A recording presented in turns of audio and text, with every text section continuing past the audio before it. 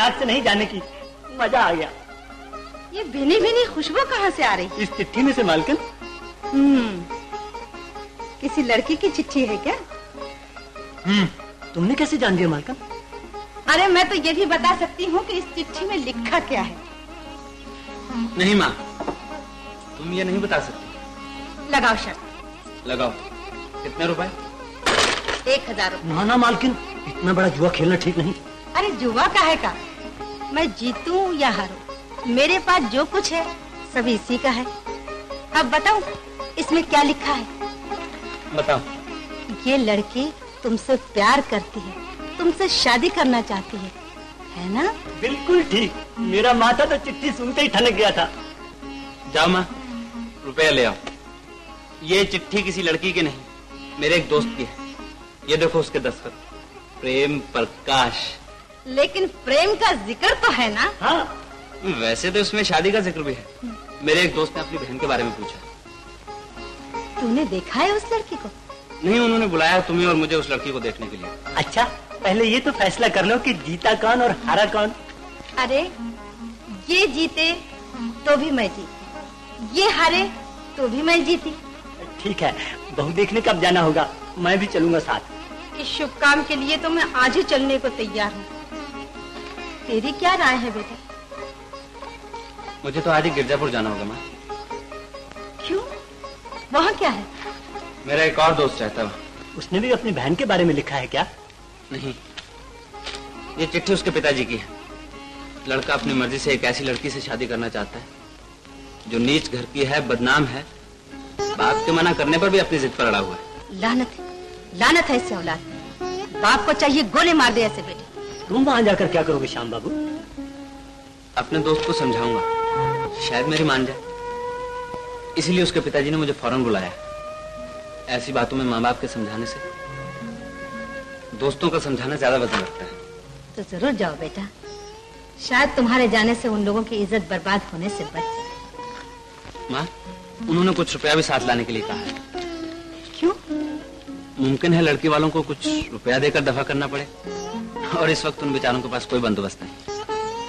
कितना रुपया चाहिए? उनकी साख तो होगी चालीस पचास हज़ार की। हो सकता है लड़की वाले इसी हिसाब से उनकी इज़्ज़त का मोल करें। तुम बीस हज़ार निकाल दो जो बचेगा वापस ले आऊँगा। ठीक है। पैसा तो हाथ का मैल है बेटा। इंसान फिर कमा सकता है। लेकिन एक बार इज़्ज़त चली जाए तो राम राम। भगवान सबकी इज़्ज़त रखे। रामू तू जा तो जल्दी खाना तैयार कर ले। अभी लो मालकिन। ये मैं ले लू श्याम बाबू? ले लो। अरे तू इसे क्या करेगा? चूल्हे के पास बैठे मुझे इतना पसीना आता है इतना पसीना आता है मालकन कि बदबू से मेरी नाक जल जाती है। इसे सुनकर तबीयत हरी कर लिया करूँगा। श्री बनारसी प्रसाद जी की। श्री बनारसी प्रसाद जी की। श्री बनारसी प्रसाद जी की। श्री बनारसी प्रसाद जी की। श्री बनारसी प्रसाद जी की। श्री बनारसी प्रसाद जी की। श्री बनारसी प्रसाद जी की। श्री बनारसी प्रसाद जी की। मेरे मित्रों, मेरा आज का उपदेश सिर्फ़ इतना है कि अगर आप अपने आप से भी ज़्यादा अपने काम से मोहब्बत नहीं करेंगे तो आपको किसी हुनर में भी कल्याण नहीं मिलेगा। लीजिए। देवी दूध की क्या ज़रूरत थी?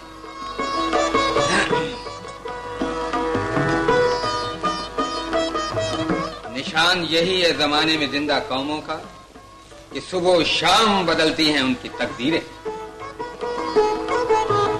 माला हमारी दुनिया में इन ठंडी सांसों का काम नहीं। अपने दिल को संभालो। इसे पत्थर बना लो। मैं क्या करूँ? ये बात मेरे बस में नहीं। माला। स्टेशन।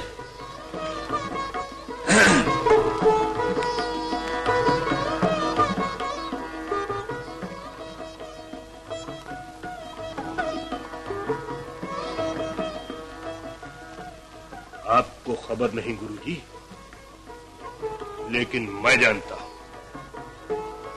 माला उससे मोहब्बत करती। दुलारे छोटी मोटी कामनी सभी हैं बिस्की बेल। दुश्मन मारे दाव से ये मारे हंस खेल। अर्थात मित्रों, औरत की मोहब्बत श्रीमान बनारसी प्रसाद जी के पाँव की बेड़ी हो सकती है एक दिन। इसलिए जज्बात में आकर हम कमज़ोर और बुजदिल नहीं होना चाहते। और हमारा यही शिक्षा दान हमारे चेलों के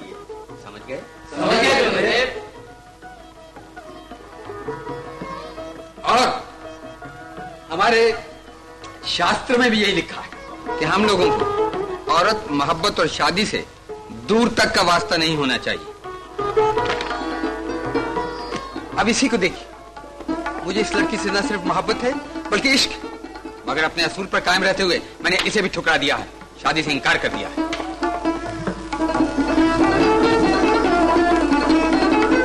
ये लड़की तो बहुत ही खूबसूरत है। कौन है गुरुजी? कोयली जिसे मेरा बड़ा भाई भैरव न जाने कहाँ से उठा लाया था।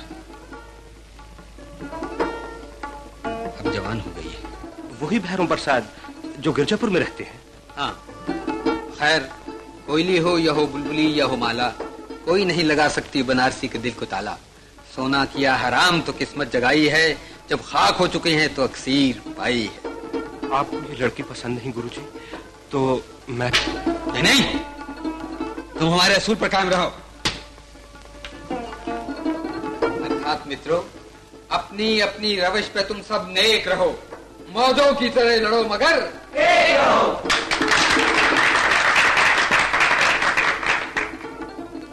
मित्रों, में ताकत और कामयाबी। जब भगवान ने सारी दुनिया ही आपके लिए बनाई है तो फिर आपस में कैंची और उस तरह चलाने की क्या ज़रूरत? है आपकी शिक्षा हम कभी नहीं भूले हैं गुरुदेव। शाबाश। शंकर खड़े हो जाओ। जोगी की घड़ी वापस कर घड़ी? घड़ी हाँ, ले। जो तुमने उसकी जेब से चुराई थी वो वापस कर वो? हाँ, तलाश करो मिल जाए। शाबाश। हाँ हाँ, मिल गई। ना, यही घड़ी वापस। कर शाबाश। कोई बात नहीं कर धनो गुरुदेव धनो। कोई बात नहीं जोगी तुम घड़ी रखो और दुलारे का बटुआ वापस कर। बटुआ तो मेरे पास नहीं है गुरुदेव। तुम्हारे पास ये भाई जरा इस जेब में तलाश करो ना। हाँ इस जेब में। हाँ, है ना? और गुरुदेव जवाब नहीं। कोई बात नहीं दुलारे कोई बात नहीं। तुम बटुआ रखो और मेरा सिगरेट केस सोने वाला वापस कर दो। Cigarette case? हाँ सोने का। Cigarette case? भाई देखो ना इस जेब में हाँ, यही यही न जाने कहाँ से आ गया मेरी जेब में? ये तो तुम भी जानते हो कहाँ से आ और मैं भी जानता हूँ। गुरुदेव ये सिगरेट केस तो मेरा है। पिछले वर्ष आप ही ने तो मेरी जेब से निकाला था। यार तूने खूब याद कराया। मैं भूल ही गया था। मगर भाई अपनी सोसाइटी के रूल के मुताबिक एक साल की मैयाद के बाद मलकियत बदल जाती है। ठीक है ना भाई? मगर फिर भी हम इंसाफ चाहते हैं। तुम अपना माल तुम ही रखो। लो गुरुदेव।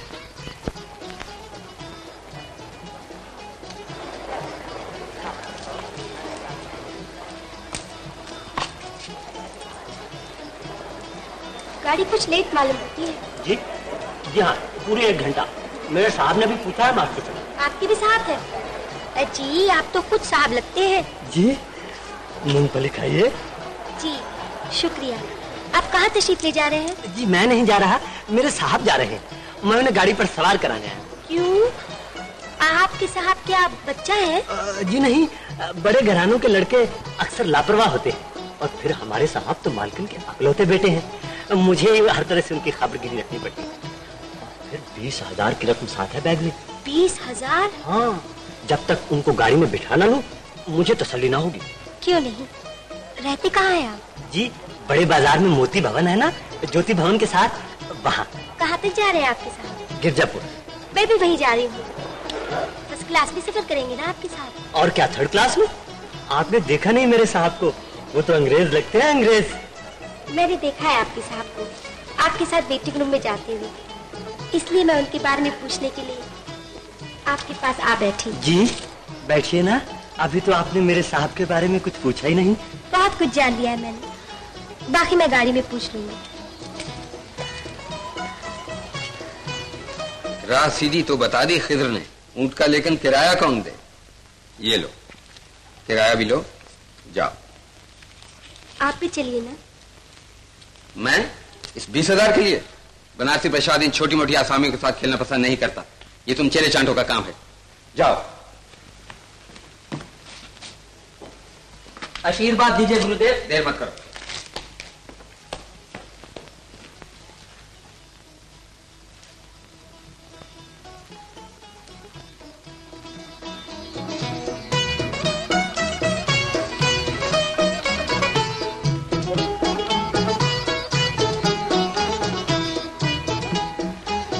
जवान होते ही वो तो और ही कुछ हो गए है दिल। कहाँ की पाकबाजी? हम भी अब नियत बदलते हैं।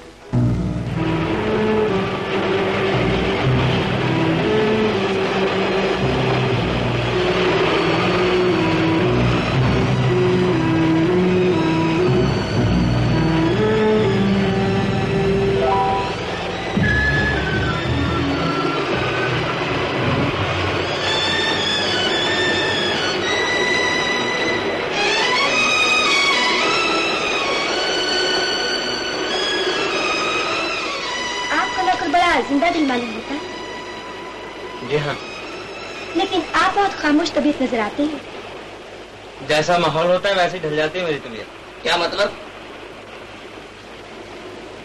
मैंने हिंदुस्तानी में बात की। आप नहीं समझते ये ज़ुबान? समझते हैं लेकिन शायरी नहीं समझते। और आप बात करते हैं शायरी में? आप समझती हैं शायरी? जी हाँ। तो फिर इन्हें समझा दीजिए। अच्छी बात। इनका मतलब ये है कि ये ज़िंदा दिलों की महफिल में ज़िंदा दिल और मुर्दा दिलों की मजलिस में खामोश हो जाए। इसके अलावा शरीफों में शरीफ और गुंडों में गुंडा भी बन जाता हूँ। एक ही शख्स में इतनी शख्सियतें भी हो सकती हैं? कह रहे हैं तो ज़रूर होंगी। क्या मैं आपसे पूछ सकती हूँ इस वक्त आप में कौन सी शख्सियत है? खामोशी पसंद इसका मतलब हुआ, आप इस वक्त मुर्दा दिलों की मजलिस में बैठे हुए हैं। देखा माना, शायर साहब अपनी नाजुक शायरी से हम तीनों पे मुर्दा दिली का इल्ज़ाम लगा रहे हैं। उठो माला अपने नगमों से इस मुर्दा दिलों की मजलिस को ज़िंदा दिलों की महफिल में बदलो। देखे तो सही, अपने शायर साहब की तबीयत ज़िंदा दिली में कैसे ढलती? है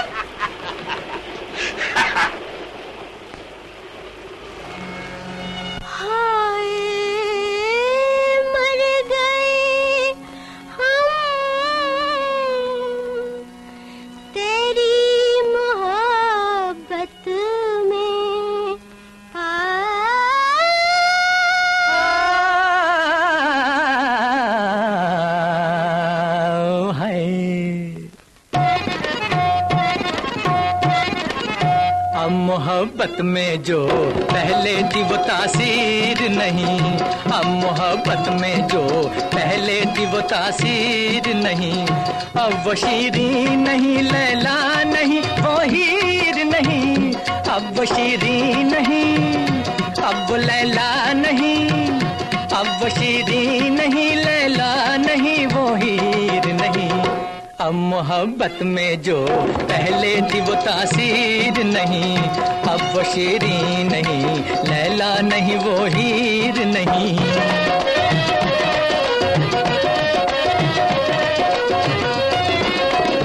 साथ मरने की तड़प, अब कहाँ हसीनों में? यार झूठी है चमक, हुस्न के नगीनों में। प्यार दौलत से ये करते हैं, इन्हें प्यार नहीं। अब हमें इनकी वफाओं का एतबार नहीं। अब वो शीरी नहीं, अब वो लैला नहीं, अब वो अब मोहब्बत में जो पहले थी वो तासीर नहीं, अब वो शेरी नहीं, लैला नहीं, वो हीर नहीं।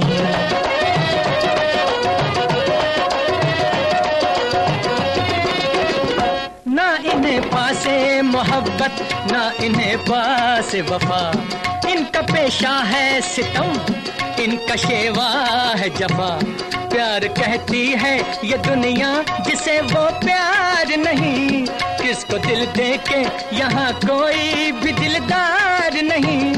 अब वो शीरी नहीं, अब वो लैला नहीं, अब वो शीरी अब मोहब्बत में जो पहले थी वो तासीर नहीं, अब वो शीरी नहीं, लैला नहीं, वो हीर नहीं।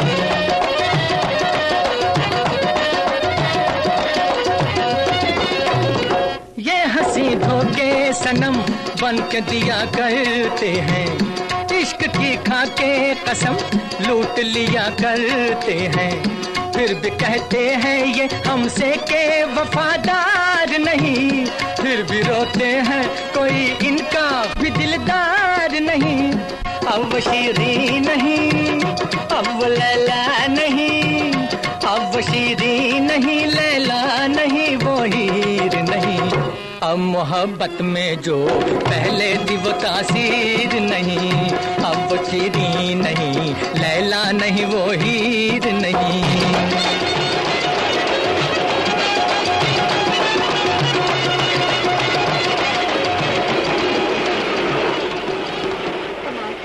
आप बहुत दिलचस्प इंसान मालूम होते।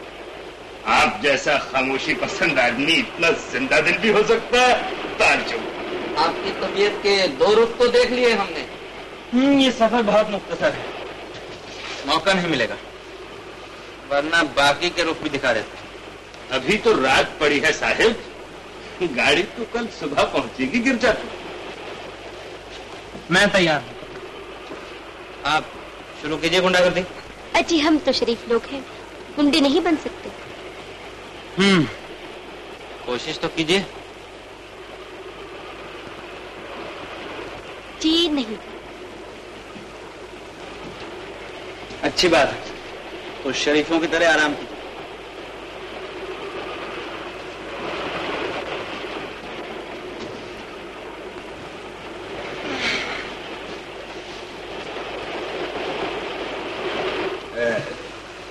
आप अपना बिस्तर बिस्तर साथ में नहीं लाए? जी नहीं। क्यों? इसलिए कि नरम नरम बिस्तर पर आराम से सो न जाऊँ। तो क्या आप रात भर जागते रहेंगे? जी हाँ। इस बैग की हिफाजत के लिए। जी आप मज़े से सोइए साहिब। हम तीनों जागते रहेंगे इस बैग को कोई नहीं छेड़ेगा। जी नहीं। एक के लिए तीन क्यों बेआराम है? आप लोग सोइए। मुझे वैसे भी सफ़र में नींद नहीं आती। मुझे तो ऐसा लग रहा है इन्हें शक है हम पर। कि कहीं हम इनका बैग ना उड़ा लें। हम्म इसलिए जागना चाहते और मुझे ऐसा लगता है आप तीनों को मुझ पर शक है। कहीं मैं आपका सामान ना उड़ा लूँ। इसीलिए आप सोना नहीं चाहते। लीजिए चोर की दाढ़ी में तिनका ये मिसाल तो गलत है। चोर पर मोर कहें तो बजा है। अच्छा साहिब आप जागिए हम सोते हैं। मैं जरा लाइट ऑफ़ करता हूँ।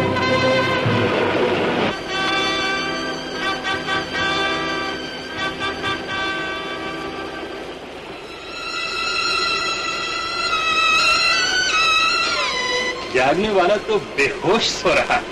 जी नहीं जो सोए सो खोए जो जागे सो पाए। जी। बत्ती बुझा दीजिए। जी बहुत अच्छा। एक मिनट ठहर।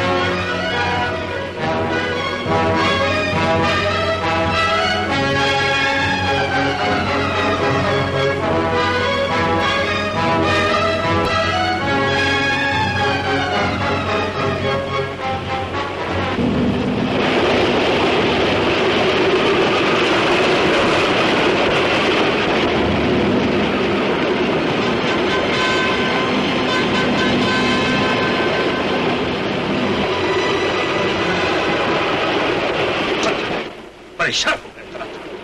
न जाने कम वक्त ने किस वक्त और कहाँ छुपा के रखा है। आज जैसे हार तो ज़िंदगी में कभी नहीं खाई। इसने तो सच में चोर पर मोर वाली बात कर दिखाई। है मुझसे बच के जाएगा कहा? आखिर तक पीछा करूँगा इसका।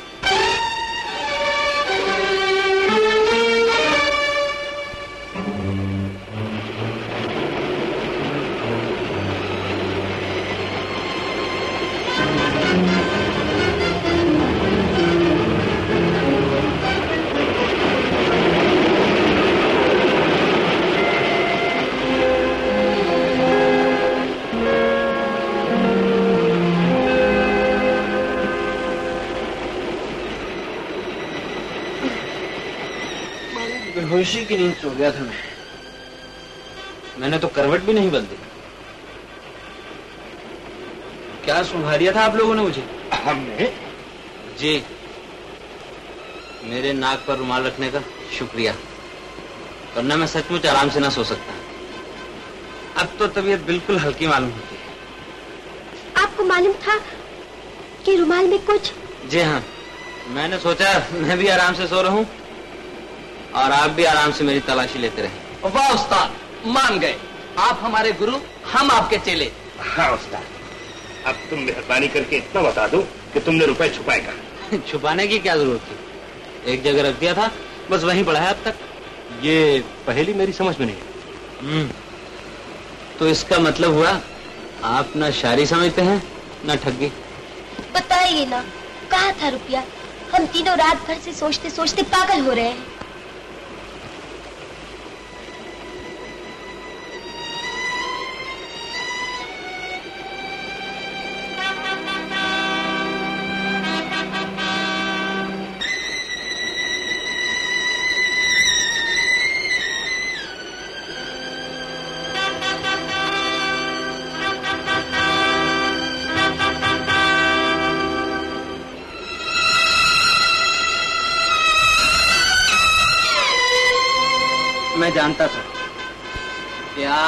मेरी हर चीज़ की तलाशी लेंगे। मगर अपने बिस्तर को हाथ तक नहीं लगाएँगे। कमाल है। दाद देता हूँ उस्ताद।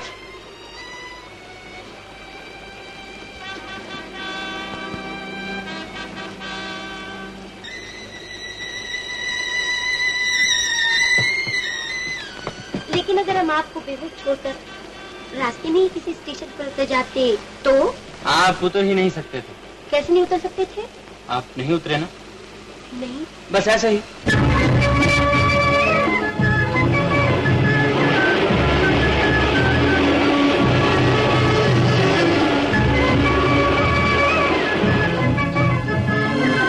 दिल वाले कहलाते थे हम वो भी एक जमाना था। दिल भर है अब दिल का मालिक ये भी एक जमाना। है गुरुजी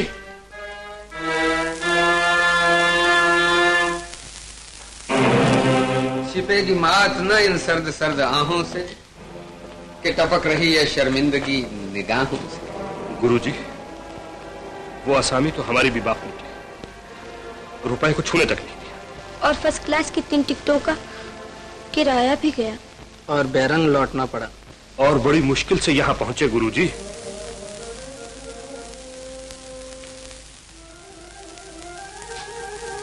और वो दो सौ रुपया कहाँ है जो भैरों ने तुम्हें दिया था?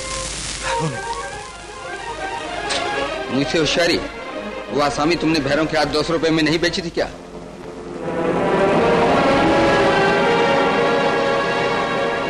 बेची। थी लेकिन लेकिन आपको कैसे पता चल गया? कहाँ क्या हुआ और क्या होता है सब खबर पहुँचती है। दुलारे ने कब आशा में बेची कब रुपया लिया ये मुझे कुछ नहीं मालूम। रुपया जेब में रख लिया? ऐसा। और हमें बगैर टिकट बगैर रोटी बगैर पानी ले आए। अरे।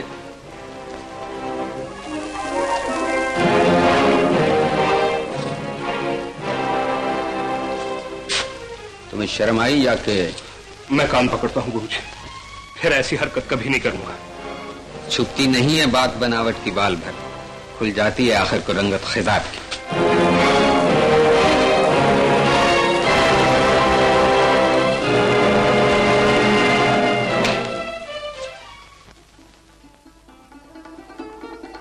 तुम भी मेरी मुखालफत करने आए हो। आया तो इसलिए।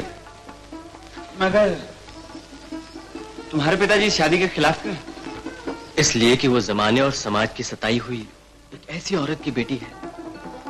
जिसे मर्दों के जुल्म और सितम का जवाब देने के लिए मजबूरन वेश्या बनना पड़ा। क्या हम पढ़े लिखे नौजवानों का ये फ़र्ज़ नहीं? ऐसी लड़कियों को दुनिया की नफरत और धुतकार से बचाने के लिए हम आगे बढ़े तुम ठीक कहते हो केशव।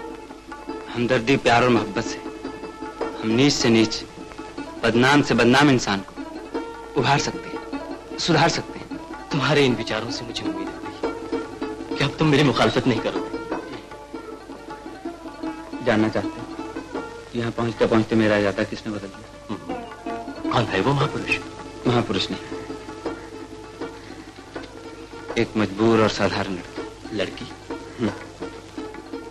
भगवान न जाने कैसे अनदेखे। अनजाने संबंध मिला देता है। लड़की का नाम कोयली है। भैरों प्रसाद ठग के यहाँ पली कहाँ मिल गया तुम्हें ठग? गिरजापुर स्टेशन पर। तांगा देख रहा था कि भैरव साहब तशरीफ़ ले आए और फरमाने लगे तांगा वांगा कुछ मिलेगा नहीं पैदल ही चलना होगा। और तुम उसके साथ चल पड़े। हाँ मैंने सोचा बात करते हुए रास्ता कट जाएगा। जब गाँव के नज़दीक पहुँचे तो बड़ी निम्रता से कहने लगा आओ थोड़ी देर मेरे घर में सुस्ता लो फिर क्या हुआ? मैंने इनकार किया तो मुझे कोर्ट से पकड़कर शोर मचाना शुरू कर दिया। आसपास खेतों में काम करते हुए लोग जमे हो गए और आखिर मुझे जाना ही पड़ा। क्यों? उसने रोना चिल्लाना शुरू कर दिया। कि मैं दामाद हूँ उसका। दामाद? हाँ हम वक्त ने बात ऐसी जमाई कि सीधे साधे जाति सच मान गए कि मैं दामाद हूँ उसका और उसकी बेटे को बसाना नहीं चाहता। बड़ा दिलचस्प किस्सा है। जरा डिटेल में सुनाओ। मैंने जाने से इनकार किया तो भाई लोगों ने मुझे अपने कंधों पे उठा लिया और उस ठग के घर ले गए। हेलो चौधरी ऐसे ठाट से कौनो दमाद अपने ससुराल नहीं आवा। दया है आप लोग? शहर में रहता था तो किसी ने मेरी बीवी का मुर्दा नहीं उठाया और आप लोग मेरे ज़िंदा दामाद को उठा लाए बड़े भाग्यशाली हैं मैं और मेरी बेटी जो अपने भाइयों के बीच आ बसा अरे नहीं चौधरी तो हाँ बिटिया हम सबका बिटिया है। हाँ हाँ। और चौधरी फिर सारी बाबू का वो इगिर तिगिर करे ना तो हमका खबर दियो हम पहुँच जावा आए गए अरे तुहार इज़्ज़त हम सबन की इज़्ज़त सगरे गाँव की इज़्ज़त है चौधरी। देख रहे हो रेशमी बाबू कितना मेल है हमारे गाँव अब कभी तुमने ची चपड़ की और इन्होंने तुम्हारा गला दबाया तू ऐसा करो रामधन हाँ? कि चौधरी दरवाजे पहरा लगा दो भले ऐसा न हो कि हमने सबके जाते कहूँ खसक जाए अरे ना हाँ रामधन ले मेरी लाठी और डट जा दरवाजे पे तेरी जवानी की कसम इस एहसान के बदले किसी रात को तेरे खेत काट लूँगा चला चला भाई चला आओ गणेश आओ क्यों देख ली अपनी ताकत और मेरा दिमाग? है कोई मुकाबला? अच्छा बोलो क्या पियोगे? चाय पानी ठंडा? यार बात खाकर जेबते क्यों? हो छुप दो गुस्सा। चलो ऊपर चलो। ऊपर का कमरा बड़ा हवादार है। चार पाई पर पड़ते ही नींद आ जाएगी। शाम को अपना रास्ता पकड़ नहीं मैं अभी जाऊँगा इसी वक्त। मेरी जिद तो पूरी हो चुकी। तुम चाहो तो शौक से जा सकते हो पर एक बात का ध्यान रखना। रामधन और मेरी लाठी।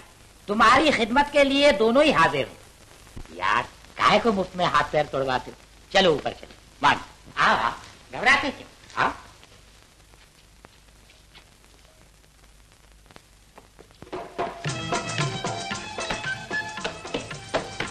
बापू ये कौन है तुम्हारे साथ? ये ये हमारा मेहमान। कहाँ से आया है? मेहमान हमारे यहाँ आते नहीं। लाए जाते। भगवान ने इसे भेज दिया है। तू ये घड़ा बड़ा रख मैं नीचे आकर सब बात बताता हूँ चलो बस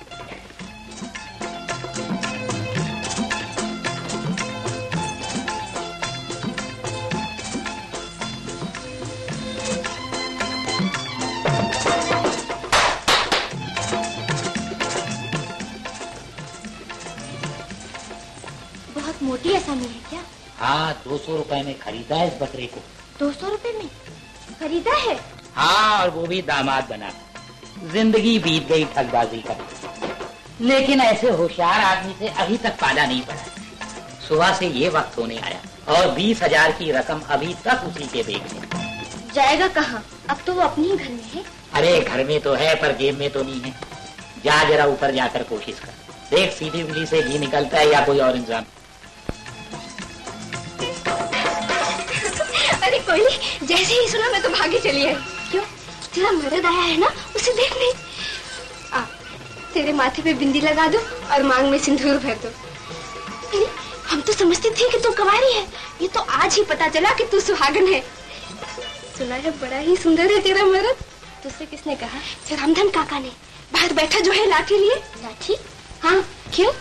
वो तेरे मर्द की रखवाली करने के लिए कि कहीं भाग ना जाए।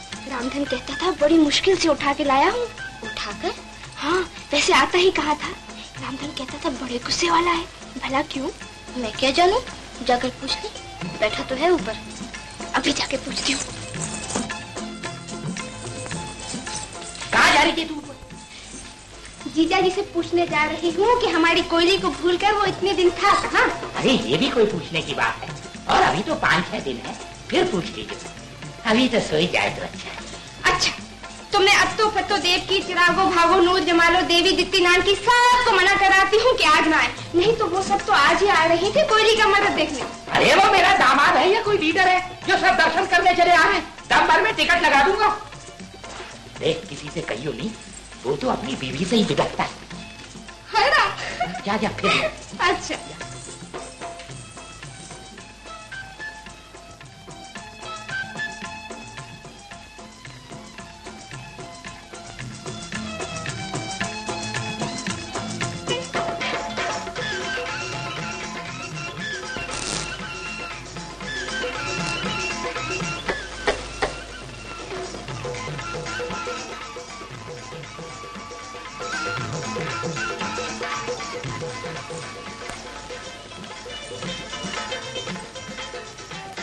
क्या है? कुछ नहीं। तुम्हें देख रहे हैं। क्यों? तुम्हें नहीं पता? नहीं। मुझे बापू ने भेजा है। जानते हो क्यों? नहीं। वो कहते हैं तुम्हारे बैग में बहुत सारा रुपया है। उसे तू किसी बहाने ले आ। और तू समझती है कि मैं तेरे चक्कर में आ गई ये रुपया तुझे दे दूँगा? अगर ऐसा समझती तो तुमसे साफ़ साफ़ न कहती। मुझे बापू ने भेजा। मुझे आना पड़ा। शर्म नहीं आती? आती है। लेकिन क्या करूँ? लानत ऐसी ज़िंदगी पर। तुम सच कहते हो बाबू मैं खुद तंग आ चुकी हूँ ऐसी ज़िंदगी और फिर भी जिए जा रही हो? बहुत ढीठ मालूम होती। जो जी चाहे कह लो बाबू सहने की आदत हो गई है। सबको नफरत ही करना आता है। नफरत की वजह दूर करना किसी को नहीं आता। बाबू न जाने क्यों मेरा दिल तुम्हारे सामने फूट फूट कर रोने को करता है। कोहली! ए कोहली! आई बाबू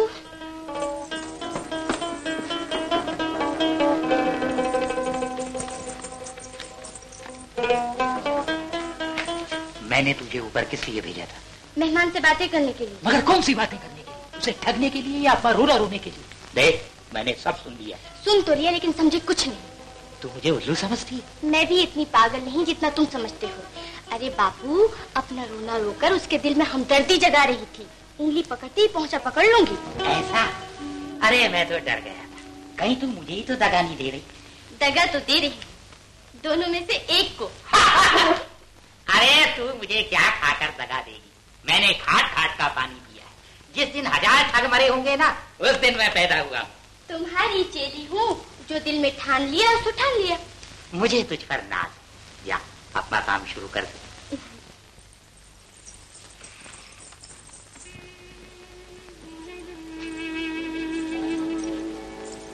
एक पल के लिए गई थी वापस आ गई। ये तो मैंने भी देखा। और जो बातें तूने अपने बापू से कही वो सब भी सुन ली। चलो अच्छा हुआ। अब मुझे उन बातों को दुखाने की कोई ज़रूरत नहीं। अब तू मेरे सामने सर भी पटखे तो मुझ पर कोई असर नहीं होने वाला। मैं ऐसा डालना भी नहीं चाहती। अगर मेरी बातों में सच्चाई हुई तो तुम्हें खुद यकीन हो जाएगा। सांच को आज नहीं। तुम्हारा ये तिरिया चरित्र मैं अच्छी तरह जानता हूँ। अपना और अपने बापू का भला चाहती हो तो मुझे यहाँ से चला जाने दो। रामधन के पहरे और बापू की जाल से निकलना आसान नहीं। मैं खुद इस फंदे से तुम्हारी रिहाई का रास्ता ढूंढ रही हूँ। और उंगली पकड़ते ही पहुँचा पकड़ लोगी? ये किसके लिए कह रही थी? बाबू तुम पढ़े लिखे हो समझदार हो। मुझे ये तो बताओ अगर मैं ऐसी बातें नहीं करती तो वो मुझे तुम्हारे पास दोबारा कैसे आने देता? मेरे पास आने की तुम्हें ज़रूरत क्या है? वही जो एक भिखारन को किसी के दरवाजे पे आने की होती है। लेकिन इस दरवाजे से तुम्हें कुछ नहीं मिल सकता। मैं तुम्हें एक पैसा देना भी पाप समझता हूँ। मुझे पैसा नहीं चाहिए। तुम मुझ पर विश्वास करो। मुझे सिर्फ़ थोड़ी सहारे की ज़रूरत है जिससे मैं इस घिनौनी ज़िंदगी से निकल सकूँ। लेकिन जिस कीड़े ने जन्म ही नाली में लिया हो वो कभी गंदगी से निकलना नहीं चाहता। मेरा जन्म इस नाली में नहीं हुआ। मुझे तकदीर ने यहाँ फेंक दिया। ये भैरव मुझे बचपन ही में कहीं से उठा लाया था। कोहली ओ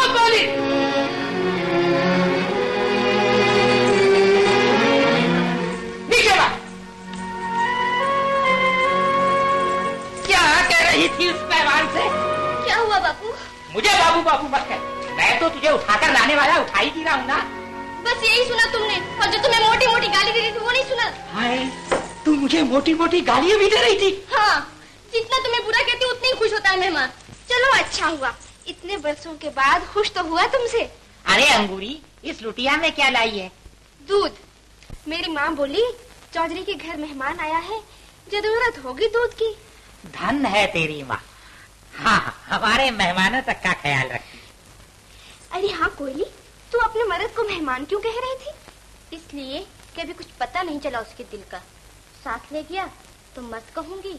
यहीं छोड़ गया तो मेहमानी हुआ और मैं तुझे उसके साथ नहीं भेजूँगा और ना उसे जाने दूँगा।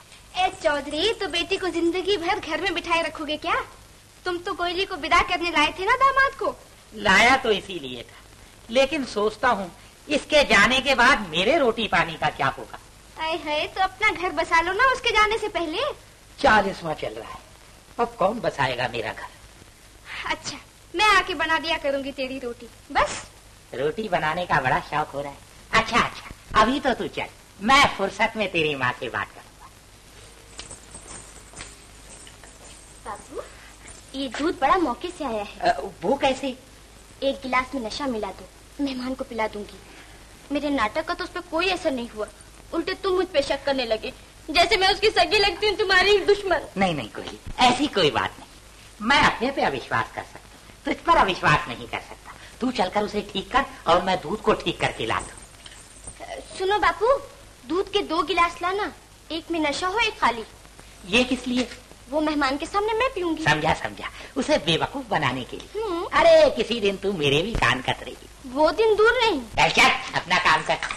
जरा सा हुनर सिखा दिया तो अकड़ नहीं लगी है। मैं अभी तक यही समझता रहा कि कोयली मुझे धोखा दे रही है।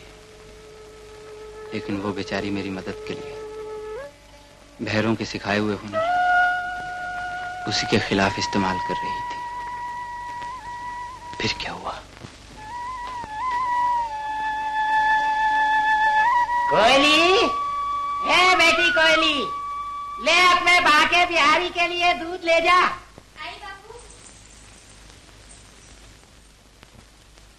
नशा किसमें है? बड़े गिलास में। ठीक है। सुनो बापू मेहमान बेहोश हो गया तो उसे बाहर कैसे निकालेंगे? ओहो तू चिंता मत कर। मैं उसे कंधे पे लादकर खेतों में पटकाऊँगा। पर रामधन जो पहरे पे बैठा है उसने देख लिया तो शक नहीं करेगा। जो उसे चलता करो। बैठा रहने देना। हमारा क्या लेता है? ज़रूरत होगी तो उसे भी एक ऐसा गिलास पिला देंगे। पर देख लड़का बड़ा काई है फ़ौरन दूध ले जा कहीं शक ना कर बैठी। शक तो तब होगा जब मैं कोई उल्टी बात करूँगी। पर तेरा भी क्या भरोसा है? ना जाने किस वक्त कौन सा राग लापता शुरू कर। राग कोई भी हो बापू पर धोखा नहीं दूँगी।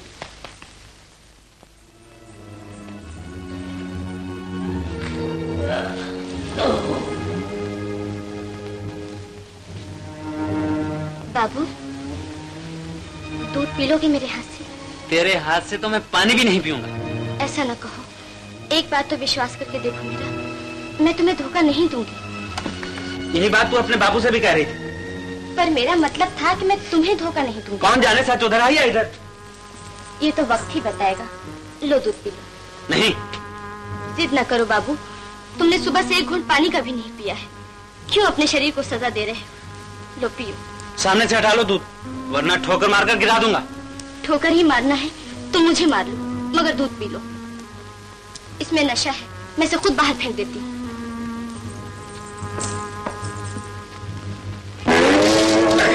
राम राम ये दूध ऊपर से कौन गिरा रही ये ठीक है इसे पी लो। तुम्हें इतबार नहीं? अच्छा देखो मैं पीती हूँ थोड़ा सा बस लो चौधरी काहे ये ऊपर चौबारा से हमने ऊपर दूध को गिराई से देखो। रामधन ऊपर तो मेरी लड़की और दामाद के अलावा तीसरा दूध फेंकने वाला है नहीं। तो तो जमाई राज मस्करी की नहीं है मेरे साथ है? अरे भाई बाप का माल तो है नहीं ससुर का माल है फेंक दिया होगा। नहीं काका दूध मैंने फेंका था। तुम नीचे बैठे थे क्या? हाँ बिटिया हम तो रखवाली करत रहे तुम्हें मन से दू कि कहूँ फिर से न भाग जाए। नहीं काका अब वो मुझे छोड़कर कहीं भी नहीं जाएगा। तुम तसल्ली रखो घर जाकर आराम करो। अच्छा। हाँ ये कपड़े मुझे भिजवा देना मैं धोकर भेज। कौनो बात नहीं बिटिया ये तो हम धो ले अपने आप। अच्छा। क्यों फेंका तूने? गिलास में कुछ गिर गया था। क्या गिर गया था? मक्खी। मक्खी। मक्खी नहीं निकाली गई दूध फेंक दिया गया। हम्म? मैं खुद बापू इधर तो आओ मैं तुम्हें सब बताती हूँ। क्या बात है? न जाने तुम्हारी तबीयत को क्या हो गया है। बिना सोचे समझे डांटने लगते हो। अब मैं पराये आदमी के सामने तुम्हें कैसे बताती कि बात क्या थी? अब तो पराया आदमी दफ़ा हो गया। अब तो कुछ मुँह से फूट। लड़का सचमुच बड़ा काइया है। हम्म, नशे के गिलास मेरे मुँह से लगाकर कहने लगा पहले तुम पियो। फिर? फिर क्या? मैंने आओ देखा न पाओ। झट से दूध का गिलास नहीं क्यों डाल दिया। बापू मैंने ठीक किया ना?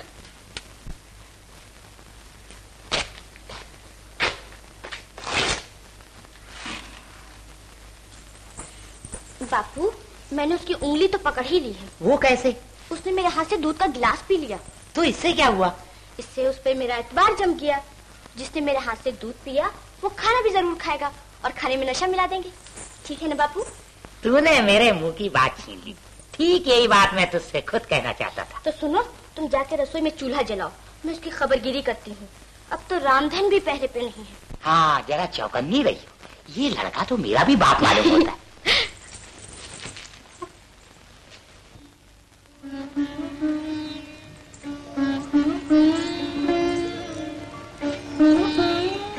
मैं बहुत खुश हूँ बाबू।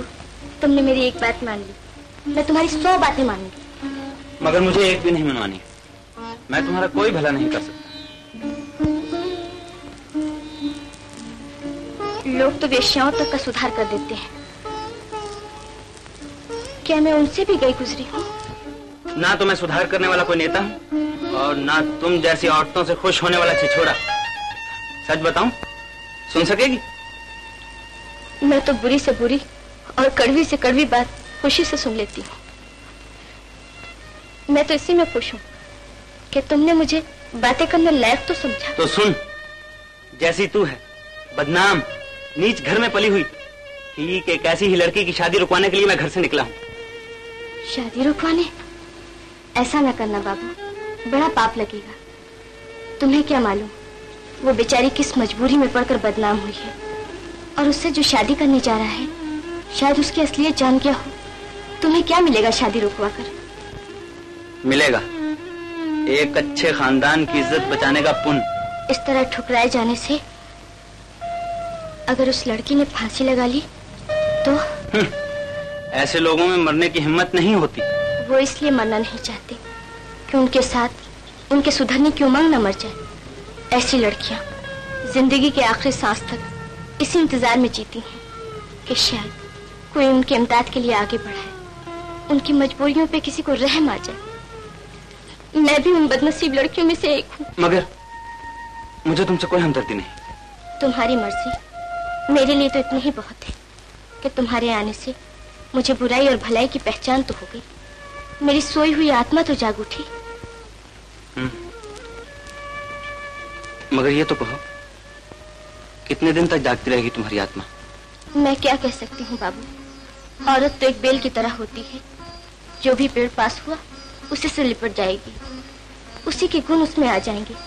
चाहे वो कीकड़ हो या आम।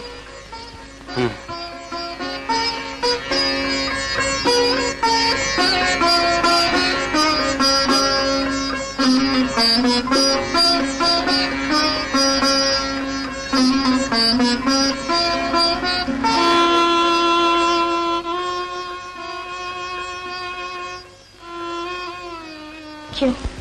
कुछ मेरे बारे में सोच रहे हो?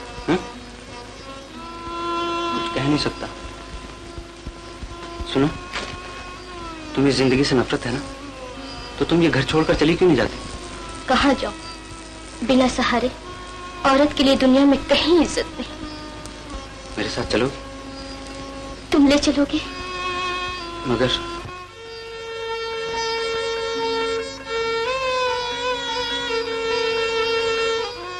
मगर मैं तुम्हें कहाँ ले जाऊँगा?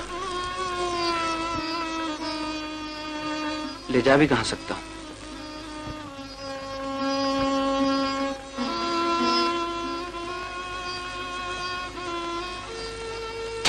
क्या तुम चाहती हो कि मैं तुम्हारी मुसीबत अपने गले डाल लूँ? ना मैं ये नहीं चाहती। बस तो फिर ठीक है। तुम यहीं पड़ी रहो। हो सकता है तुम्हारा बापू किसी और को जो मुझसे ज़्यादा रहमदिल हो अपना दामाद बनाकर ले आए।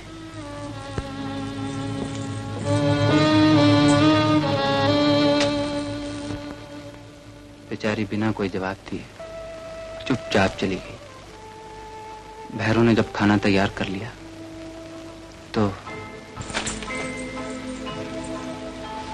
जायके में तो कोई फ़र्क नहीं पड़ेगा ना? अरे उस्तादों के बताए हुए नुस्खे हैं कोई मज़ाक थोड़ी है? फिर तो ठीक है। तू बेफिक्र रहे।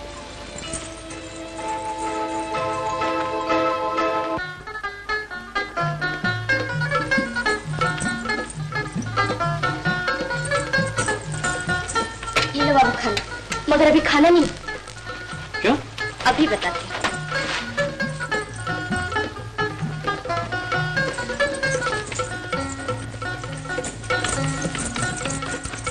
बापू तुम भी ऊपर आकर मेहमान के साथ खाना खा लो। मालूम होता है तेरी नियत में फिर फ़र्क आ गया। मुझे भी बेहोश करना चाहती है। मैं एक ही थाली में थोड़ी खाने के लिए कह रही हूँ। मैं तुम्हारे लिए दूसरी थाली लाती हूँ। लड़का बोलता मैं अकेले नहीं खाऊँगा। कोई बहाना कर देना।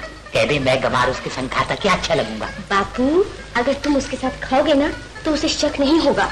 कमाल का आदमी है पट्टे के सर पाँव का पता ही नहीं लगता। जा तू थाली ला जा।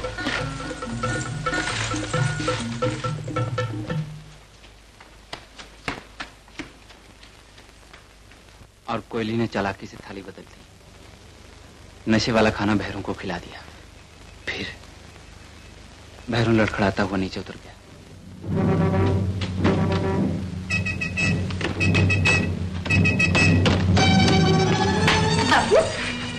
तुम क्यों रहे हो? कुछ समझ में नहीं आता। नींद आ रही है। मैं सोता हूँ क्या? हाँ तू वो बैग लिया अभी उसे अच्छी तरह नशा तो चढ़ जाने दो। अरे चित हो गया होगा। तू देख तो जाके।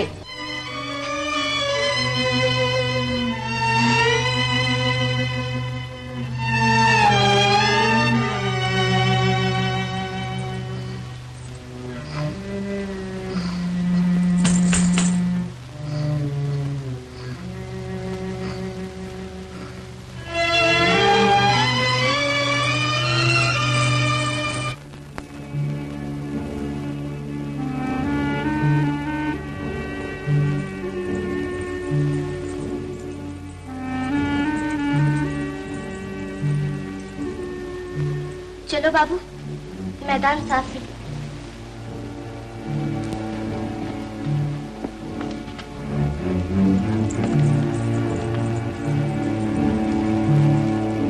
लो ये बैग मैं ले चलती हूँ। तुम तुम भी मेरे साथ चल रही हो क्या?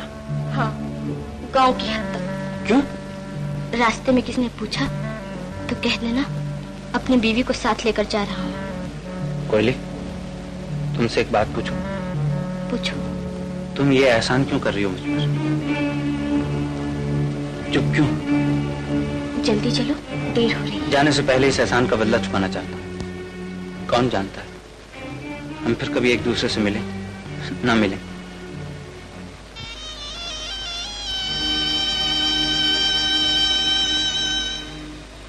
क्या देना चाहते हो? इस बैग में बीस हज़ार रुपया है। सब रख लो। ना। सुबह तुम्हारे बापू ने रुपया मांगा तो क्या जवाब दोगी? जो उस वक्त समझ में आएगा। और इस रुपए के लिए तुम्हारे बापू ने तुम्हें मारपीट की तो मुझे बहुत दुख होगा। तुम क्या मुझे देखने आओगे? इसलिए तो कहता हूँ ये रुपया रख लो। मेरे एहसान की कीमत ये रुपया नहीं। फिर तुम ही बताओ क्या चाहती हो तुम? तुम खैरियत से चले जाओ बस यही। चलो।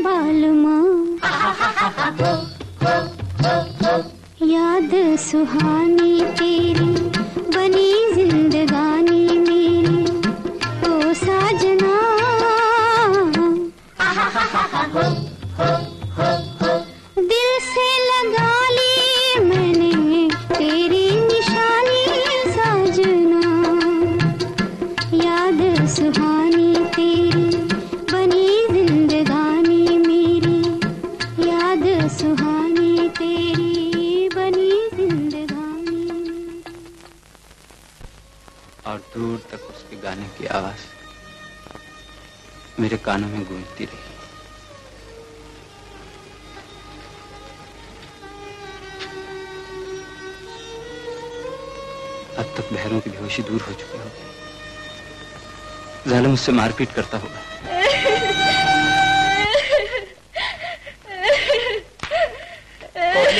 सुबह सुबह क्यों रो रही है। कौन पड़ गया? बापू पंछी उड़ गया। पंछी उड़ गया तो बहुत अच्छा हुआ। तूने क्या पंछी का आचार डालना था?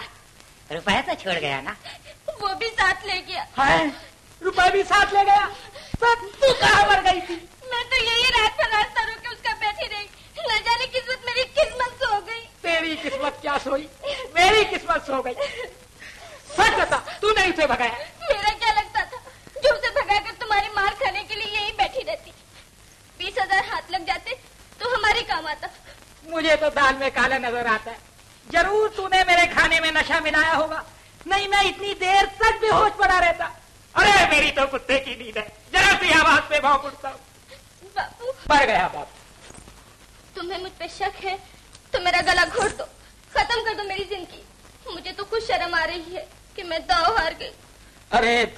क्या हारी? दाव तो मैं हार गया। दो सौ रुपए जेब से गए। बीस हज़ार की घर में आई रकम चली गई। खैर बच के कहा जाएगा? बेटा की नाक नहीं काटी तो मेरा नाम भैरव प्रसाद नहीं तूने उसका नाम पता तो पूछा होगा। गर्दन क्या हिला रही है? बूझे फूट। नहीं। पर तू का भाग रही है? जाके चूल्हा जलाओ या नहीं? ए चौधरी क्यों गरज रहे हो कोयली पर? अरे ये बेचारी हई करम फूट। कब वक्त फिर इसे दगा दे के भाग गया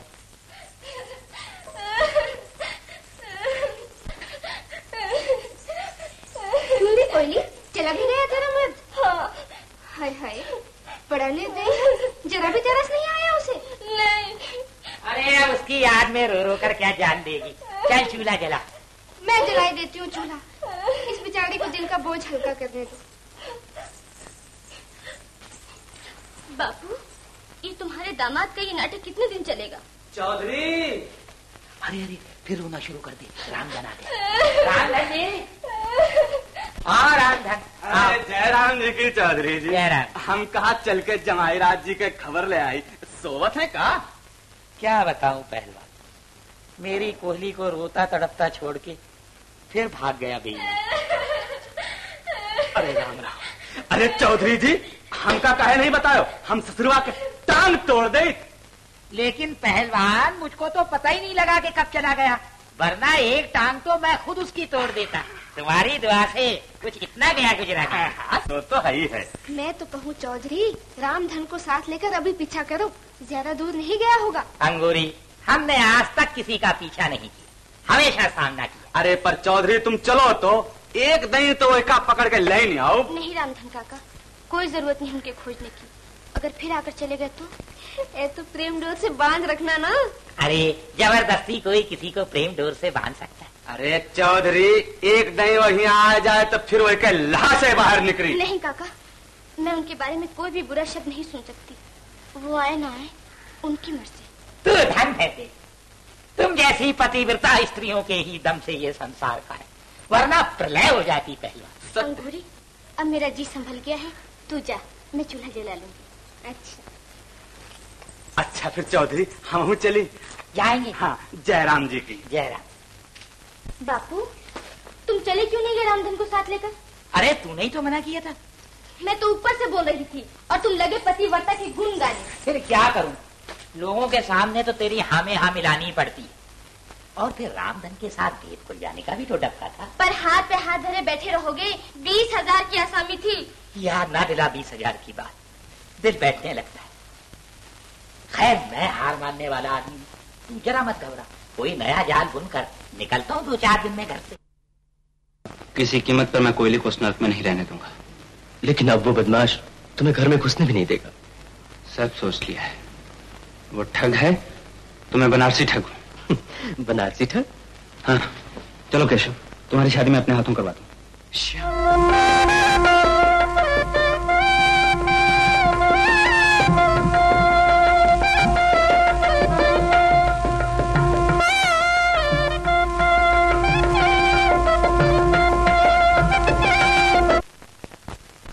दिल बरा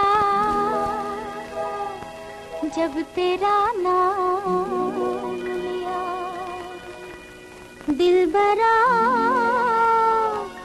जब तेरा नाम लिया दिल बरा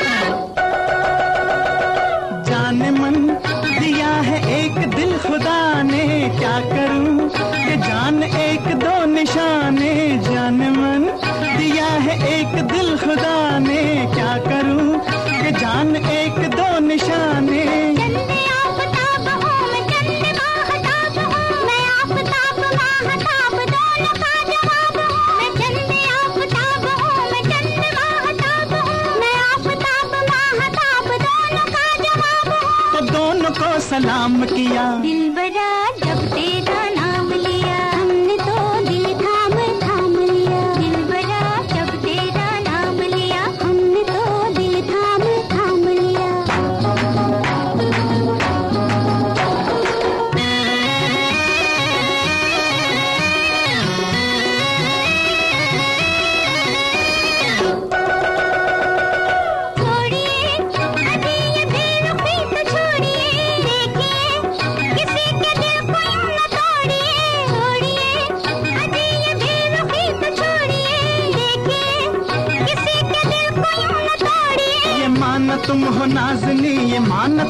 महजूबी मगर न दूँगा तुमको दिल के तुम किसी के भी नहीं।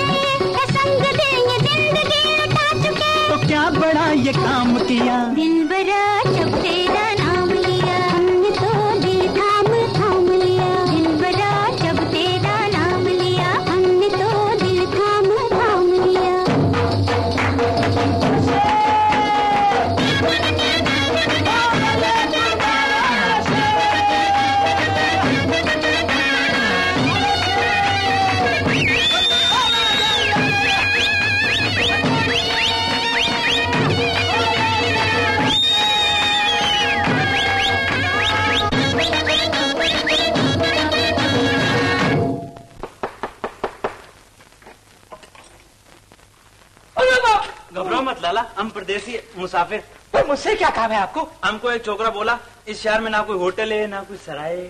ठीक बोला ये तो गाँव है आप जाइए। वो इसलिए तो बोला कि हम परदेसी है। हम सुना तुम बहुत मेहरबान है बहुत मेहरबान है। कोई लाला हमारे पास बहुत रुपया है। परदेसी सड़क पे सोएगा तो लुट जाएगा। बहुत रुपया है फिर सड़क पे क्या सोएगा खान तुम पहले से क्यों नहीं बोला असली बात? आओ आओ हम सुबह चला जाएगा तुमको झोला भर के पैसा देगा। बाबा हमको कुछ नहीं चाहिए। हमारी किस्मत का होगा खुद मिल जाएगा। क्या बोलते हो? कुछ नहीं। मेरा मतलब है रुपया पैसा तो यहीं रह जाएगा। इंसान और पठान खाली हाथ जाएगा। वही वही लाला ये परिजात कौन है ये हमारा लड़की है। जरा नादान है अभी। लाला तुम सच बोलते हैं ये तुम्हारा बेटी हो क्यों? हम इसका बाप होने लायक भी नहीं। ओए लाला तुम इतना खूबसूरत बेटी का बाप हुए। ओए लाला तुमको खुदा जन्नत नसीब करेगा। है अभी तो मैं तुम्हारी जन्नत का इंतज़ाम किए देता हूँ। ऊपर का कमरा बड़ा हवादार। खाट पर लेटते ही नींद आ जाएगी। ओ हमारा नींद तो चला गई लाला। लाला तुम इस परिजात के ऊपर भेज दो हम मीठा मीठा बात करेंगे। बाबू निकालो पठान के बच्चे को बाहर। क्यों? ये बदमाश मुझसे ऊपर आने के लिए कहता है। मुझसे मीठी मीठी बातें करने के लिए कहता है। और तुम खड़े सुन रहे हो। रुपए के लालच में तुम्हें इतनी भी गलत नहीं रही। कोई नहीं। ये गुस्से में क्या बोलता है लाला? कुछ नहीं खान। मैंने कहा ना नादान। तुम ऊपर चलो नहीं लाला हम इधर ही खड़ा होकर देखेगा। खबरदार जो मुझ पर मैंने निगाह डाली मैं तेरी आँखें निकालूँगी। कोई क्या हो गया? आदमी आदमी तो देखा कर। मैं साफ़ कहती हूँ मैं जान दे दूँगी मगर मगर क्या? छोड़ दो मुझे। मैं शोर मचाकर सारे गाँव को इकट्ठा कर दूँगी कि तुम क्या धंधा करते हो। तेरी ये वजह खबरदार। जो मुँह खोला तो ज़ुबान खींची आवाज़ निकली तो गला फांसी के तर्ज पे चढ़ जाएगा। कोई परवाह नहीं। आज मैं इसका भूत उतार के छोड़ूँगा। बोल मानेगी मेरी बात? नहीं। नहीं। नहीं। नहीं। नहीं। नहीं। नहीं जान नहीं मारने का निजी मामला था आज मैं इसकी जान लेके छोड़ूँगा। तो हम इसको साथ ले जाएगा। चल छोकरी नहीं कोयली। अब ये हाथ ज़िंदगी भर नहीं छोड़ू बाबू। हाँ। पहचाना नहीं अपने दामाद को, रेशमी बाबू को। चल कोयली खबरदार, ये एक भी कदम आगे बढ़ाया। दोनों को यही ढेर कर दूँगा। मैं भी देखता हूँ कि हमें रोकने की हिम्मत किसमें है। तो मैं भी देखता हूँ।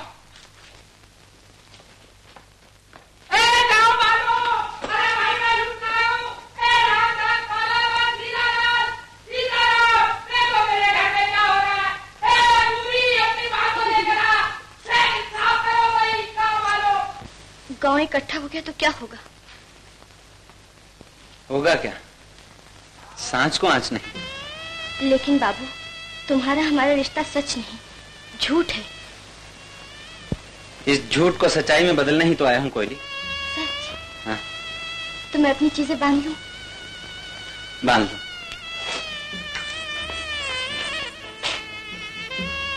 क्या बात है चौधरी? अरे पठान मेरी बेटी को उठा कर ले जा रहा है। हाँ हाँ। चलो चलो टंगड़िया तोड़ दिया वो केर कहाँ है? आओ जी आओ। ये खड़ा है बदमाश। मैं बदमाश नहीं दामाद हूँ चौधरी का। अपनी बीवी को लेने आया हूँ। मगर ये भेजने से इनकार करता है। आप भी पूछे क्यों? ये झूठ है सरासर झूठ। क्या झूठ है?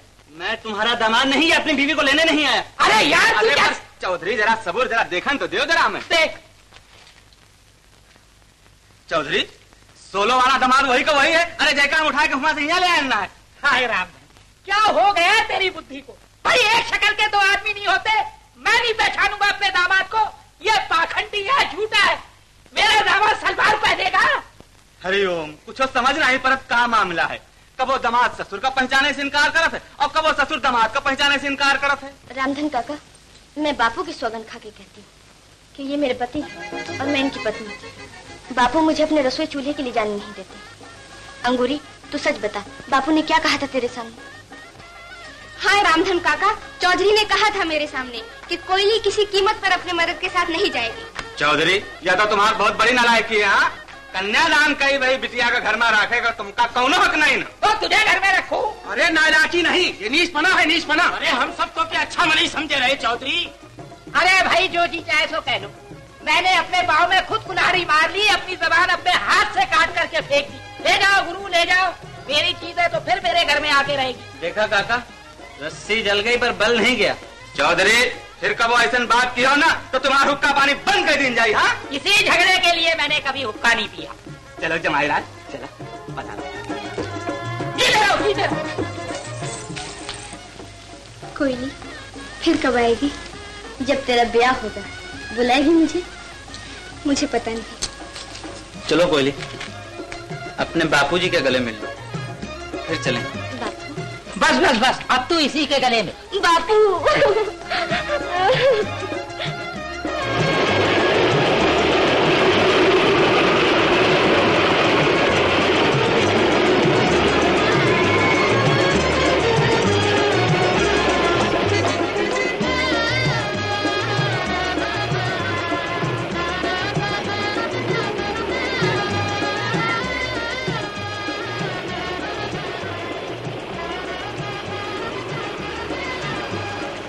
क्यों हो कोयली?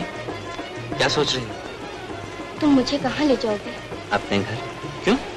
बाबू कहीं मैं तुम्हारे लिए मुसीबत न बन जाऊँ। बापू मेरा पीछा करेगा वो अपनी हार का बदला ज़रूर लेगा। तुमने देख तो लिया है कि मैं भी उससे कम नहीं। जो होगा देखा जाए। तुम्हारे घर के लोग रख लेंगे मुझे। सिर्फ़ मेरी माँ जी हैं घर में। अब तुम चली जाओ। अगर उन्होंने पूछा कि इस गंवार को कहाँ से उठा लाए तो? हम पहले घर नहीं किसी होटल चलेंगे। क्यों? तुम्हें इस लिबास में देखकर माँ जी शायद नाक मुँह चढ़ाए। घर पहुँचने से पहले मैं तुम्हें ऐसा बदल दूँगा कि तुम सचमुच परिजात लगो और माँ जी तुम्हें देखते ही प्यार से गले लगा लेंगे। फिर तुम्हारा बापू क्या उसका बाप भी नहीं पहचान सकेगा सच? और क्या झूठ? देखा नहीं? कैसा पठान बनकर आया था? मैं तो बिल्कुल पहचान नहीं सकी। मैंने तो पठान समझकर उठा ही दिया था हाथ। अगर लगा देती एक झापड़ तो कितनी शर्म की बात होती। ये मेरे लिए शर्म की नहीं बड़े फखर की बात है कि मैंने जिस लड़की का हाथ पकड़ा है उसमें हिम्मत है गैरत है अपनी इज़्ज़त के लिए हाथ उठाने का हौसला है। तुम ना आते तो इस हिम्मत के होते हुए भी मैं उसी कैद में पड़ी रहती। तुम्हें इस कैद से छुड़ाने का मेरे दिल में जज्बा उभरा ये भी तो तुम्हारी हिम्मत थी यही नहीं तुमने मेरे इरादे यहाँ तक बदल दिए कि मैं जिस शादी को रुकवाने घर से निकला था खुद अपने हाथों करवाया। तुमने बहुत अच्छा किया बाबू। तुम्हारे लिए बहुत दुआएँ निकलेंगी उस लड़की के दिल से। दुआओं में असर होता है? बहुत। तो माँ जी ज़रूर तुम्हें अपनी बहू बना देंगे।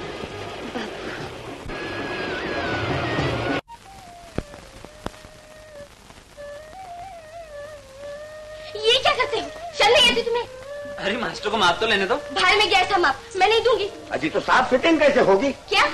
मास्टर कहता है माप के बिना ब्लाउज खुला रहेगा। तो उसमें क्या हुआ? खुला ही पहन लूँगी। ओहो। मास्टर जी इसने जो चोली पहन रखी है ये दें तो चलेगी? हाँ हाँ ज़रूर चलेगी। अंदाज से थोड़ा और टाइट कर लो तो हम बाहर चलते हैं। कोयली तुम ये चोली उतार के दे दो। फिर पहनूँगी क्या? अरे ये दुपट्टा लपेट लो ना। ये तो बहुत पतला है।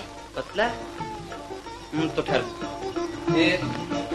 ये लपेट लो। आओ मास्टर जल्दी से जल्दी कितने बजे तक तैयार हो जाएँगे? शाम तक तो तैयार नहीं हो सकते बाबू। अलबत्ता सात आठ बजे तक कंप्लीट हो जाएँगे। ये लो बाबू चोली। ये लो मास्टर। भी दे दूँ। क्यों मास्टर? अजी बड़ी खुशी के साथ फ़र्स्ट क्लास पेटीकोट बन जाएगा। दे दो कोयली। हाँ मैंने कहा वो कपड़ा पसंद करने आप चलेंगे मेरे साथ। मैं? जी। नहीं नहीं मैं कहाँ जाऊँगा? ये लो पैसे। जी। तुम खुद ही खरीद लेना। अच्छी बात। ये लो बाबू लहंगा। ये लो मास्टर अब तो काम ठीक हो जाएगा ना? सरकार अब तो बिल्कुल सतना आने ठीक हो जाएगा। अच्छा नमस्ते। नमस्ते।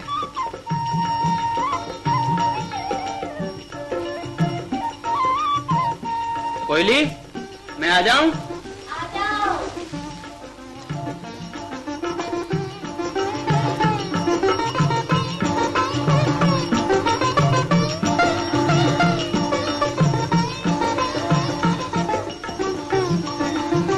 कोयली? कोयली? अरे कहाँ हो तुम? मैं यहाँ हूँ अलमारी में। अरे वहाँ तुम्हारा दम घुट जाएगा। बाहर निकल। दरवाज़ा न खोलना मुझे ला जाती है। अरे तो कब तक छुपी रहोगी अलमारी में? दर्जी आएगा जब तक। वो तो शाम को आएगा। तो शाम तक यही रहूँगी मेरा दम नहीं घुटता। तुम चिंता मत करो।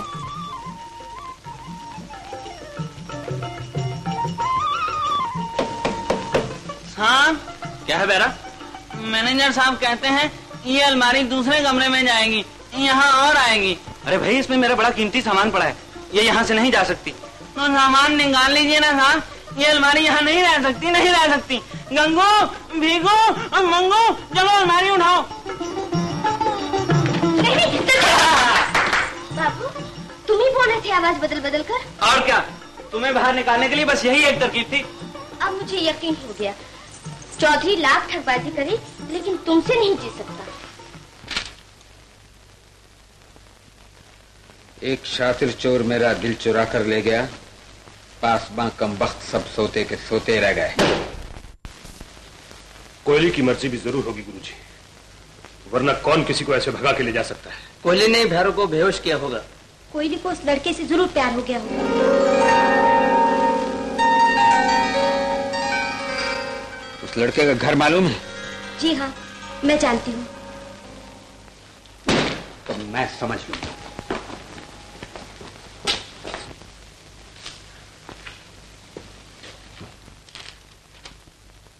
खुद तो भैरों से कुछ हो नहीं सका उठा के गुरुजी को चिट्ठी लिख दी। भैरव गिरजापुर के लायक है।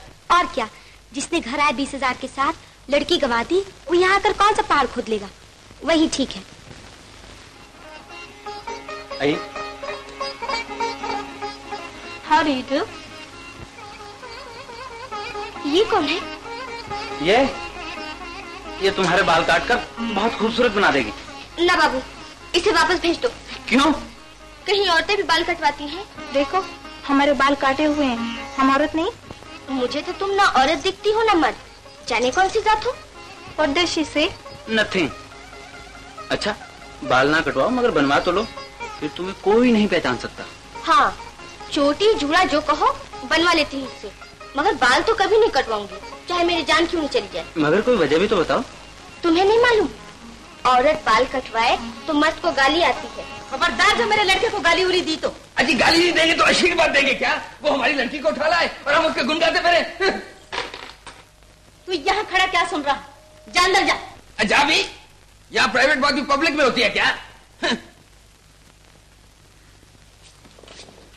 अजी अगर अपने बेटी की इज़्ज़त का इतना ही ख्याल है तो लड़की हमारे हवाले कर दो वरना जमाने भर में वो बदनामी करूँगा कि चुल्लू भर पानी में डूबना मुश्किल हो जाएगा। हाँ। नहीं नहीं भाई। मैं हाथ जोड़ती हूँ। मेरा विश्वास करो मेरा बेटा ऐसा नीच काम कभी नहीं कर सकता। अजी वो नीच काम नहीं कर सकता तो क्या हम नीच काम करते हैं क्या? हम गरीब हैं मगर बेगैरत नहीं जो भोली भाई लड़कियों पर खम खा का इल्ज़ाम लगाते फिरे। नहीं नहीं। मेरा मतलब यह है कोई और गुंडा होगा। मेरा बेटा नहीं। तुम्हारा बेटा नहीं?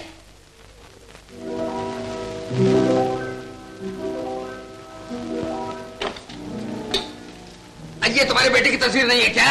हाँ ये मेरी ही बेटे की तस्वीर। तो फिर यही तो वो बदमाश है जिसने हमारी इज़्ज़त पर हमला किया है। नहीं मेरे दिल को यकीन नहीं होता। मेरे बेटे के रगों में शरीफ खानदान का खून है। वो ऐसा कर ही नहीं सकता। अजी कर सकता क्या? कर दिया। इसी शराफत के धोखे में तो कर सकता।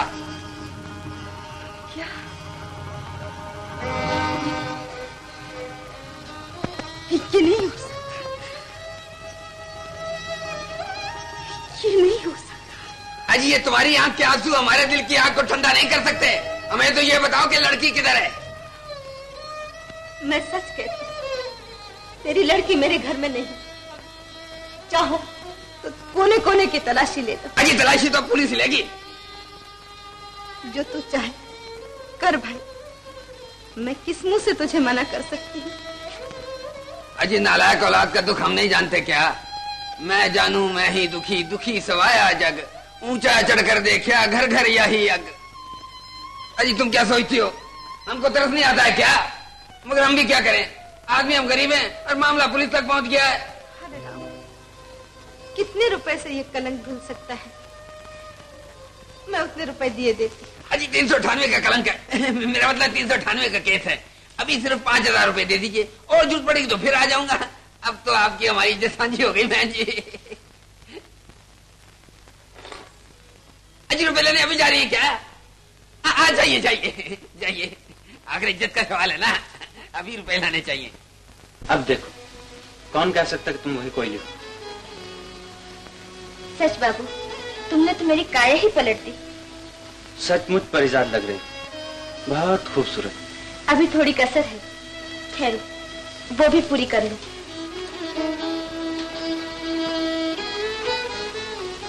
ये क्या है? मेरे सुहाग की शोभा। अरे ये तो मिट्टी है मिट्टी।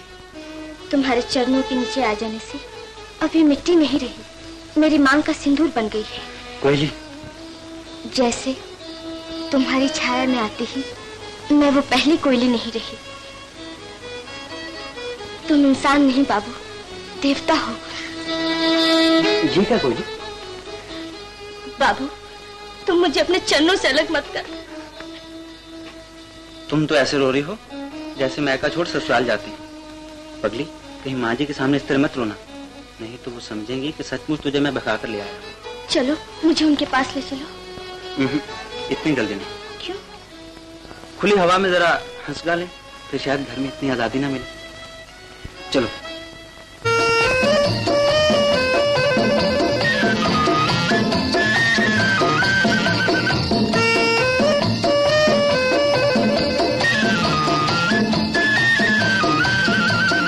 एक बात पूछता हूँ एक बात पूछता हूँ। गर तुम बुरा न मानो। गर तुम बुरा न मानो। एक बात पूछता हूँ।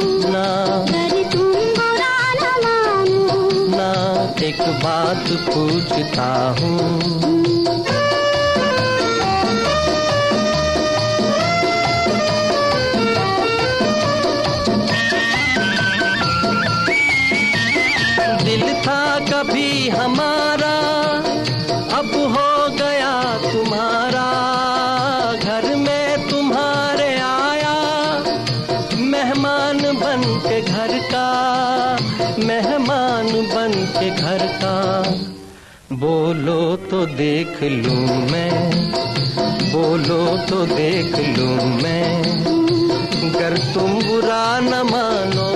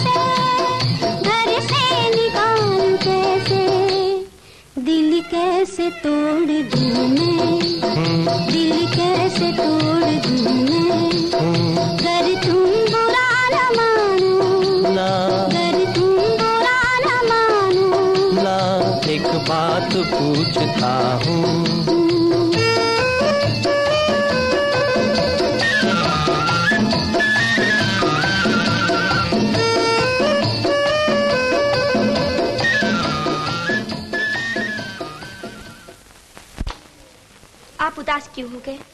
आपको इस तरह चुप देखकर मेरा दिल बैठा जा रहा है। मैं उदास नहीं हूँ माला। सोच रहा। पस्त हिम्मत रोते रहते हैं सदा तकदीर को।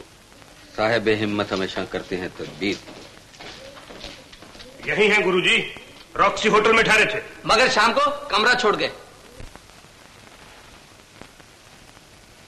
तो घर ले गया होगा। होटल में आई। तो कोयली एक देहातन थी। हम्म। और जब गई तो एक up to date fashionable beauty जी हाँ। मैं सच कह रहा हूँ गुरुजी होटल के बॉय से तारीफ़ सुनकर मैं तो आशिक हो गया कोयली पर। दिलाए हमारे असूल मत भूलो। अब क्या आ गया है गुरुजी? तुम लोगों को आगे देकर बहुत देख लिया। अब गुरुजी अपने आप को आगे देंगे भगवान करे कोयली इनके हाथ भी न लगे। क्यों? कोयली से ये भी प्यार करते हैं। नहीं नहीं ये गलत। देखा नहीं? तुमने कोयली पर आशक होने की बात की तो कैसे बिगड़ गए थे तुम पर? माला ठीक कहती है दुलारे। दाल में कुछ काला ज़रूर है। हम्म अगर बनारसी प्रसाद मुँह न देखते रह गए तो मेरा नाम भी दुलारे मैं तुम्हारे साथ हूँ। और मैं तुम्हारे साथ और मैं तुम दोनों के साथ हूँ। श्याम बाबू आगे मालकन। अकेला है? नहीं मालकन एक लड़की है साथ में। उसे कह दो कदम भी ना रखे मेरे घर। मैं उस नीच की सूरत देखना नहीं चाहती। क्यों ना आए उस लड़की को? मैं सब बताता हूँ माँ। मैं कुछ सुनना नहीं चाहती। उसे कह दो दफ़ा हो जाए यहाँ से। लेकिन माँ उस बेचारी का हमारे सिवा और कहीं ठिकाना नहीं। मेरे घर में भी ऐसी लड़की के लिए कोई जगह नहीं। माँ सुनो तो मैं उसे किन हालात से निकाल कर लाया हूँ? मैं सब जानती हूँ। हट जा मैं खुद धक्के देके निकालती हूँ उसे बाहर। माँ माँ अगर वो इस घर में नहीं रह सकती तो मैं भी ना रहूँगा। क्या उस लड़की के लिए तू माँ को छोड़ सकता है? क्या इसी दिन के लिए तुझे मैंने अपना खून पिला पिला करके बड़ा किया था? क्या माँ के दूध की यही कीमत है बेटा? माँ? मैं तुझे कैसे समझाऊं माँ? तुम कुछ सुनने को भी तो तैयार नहीं। तू ऐसा तो नहीं था श्याम। ज़रूर उस कमजात ने तुझ पे कोई जादू कर दिया है। ना माँ। बिना सोचे समझे किसी गरीब को गाली ना दो। उनके भी दिल होता है। उनकी भी इज़्ज़त है। शर्म नहीं आती तुझे? माँ के सामने उस नीच की वकालत करते हुए जो माँ बाप की इज़्ज़त को ठोकर मार कर तेरे साथ चली आई। वो नहीं। मैं खुद लाया था उसका हाथ पकड़कर। मैं उससे शादी करूँगा। शादी? मेरे जीते जी ये नहीं हो सकता। मेरी चिता जलाकर बेशक अपनी शादी रचा लेना तो ये तुम्हारा आखिरी फैसला है? आखिरी और अटल।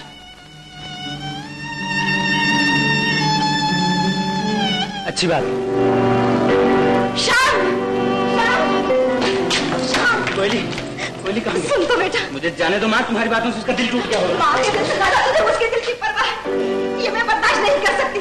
देखती हूँ तू कैसे जाता है। जाओ माँ कहीं वो दूर ना चली जाए। यही तो चाहती हूँ मैं। मुझे जाने दो माँ कोयली की दुनिया अंधेर हो जाएगी तबाह हो जाएगी। आज यही तो देखना चाहती हूँ मैं कि बेटे के दिल में किसके लिए ज़्यादा प्यार है? माँ के लिए या उस आवारा के लिए? हट जाओ माँ मैं पागल हो जाऊँगा। यही तो आजमाना चाहती हूँ। बेटा किसके लिए ज़्यादा तड़प सकता है? माँ के लिए या उस मेरा इम्तिहान न लो माँ तुम नहीं जानती। कोयली को मेरा सहारा न मिला तो वो ज़िंदा नहीं रहेगी। भगवान के लिए हट जाओ माँ। अगर मुझे अपने रास्ते से हटाना चाहते हो तो हटाओ अपने हाथ से धक्का दे। बगैर माँ के ऊपर हाथ उठाए हुए तुम नहीं जा सकते उसके पीछे। माँ! बेटा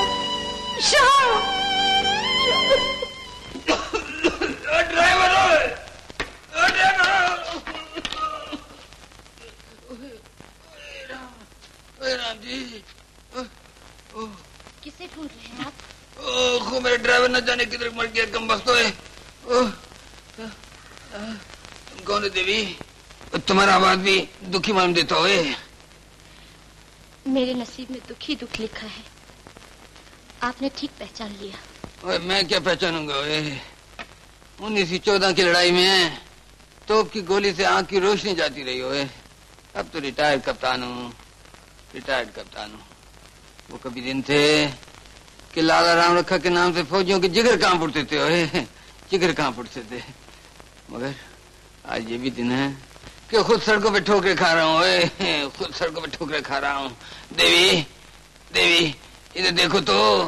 कि मेरी गाड़ी नज़र आती है क्या मेरी मोटर? यहाँ तो कोई मोटर नज़र नहीं आती। ओहो। मैं खुद अनजान हूँ शहर में वरना आपके घर पहुँचा आती। ओ तो खुद तुम परदेसी हो क्या? ओ तो किधर जा रही थी? जहाँ तकदीर ले जाती।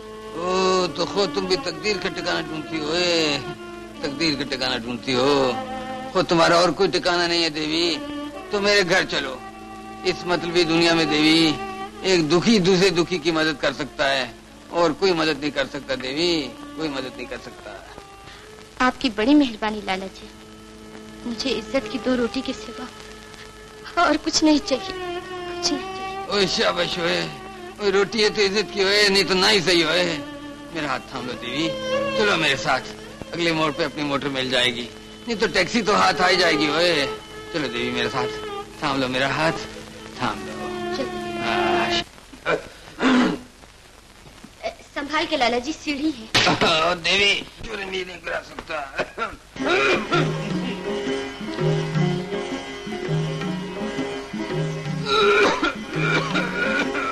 बुढ़ापे में खांसी पूरी बुला होती हो। देवी जरा ये ये पगड़ी उधर कोच पे रखना है। थोड़ा आराम कर लूँ। शिव शंभू शिव शंभू। इसका भी तकलीफ़ करना देवी। और जरा इसको भी रख लेना। बनारसी? इश्क सच्चा हो अगर दिल की तड़प सच्ची हो यूँ भी होता है कि बिछड़े हुए मिल जाते हैं।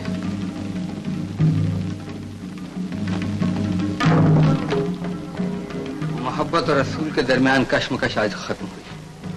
अब मैं अपने जज्बात को नहीं दबा सकता। मैं तुम्हारा दीवाना हूँ कोई।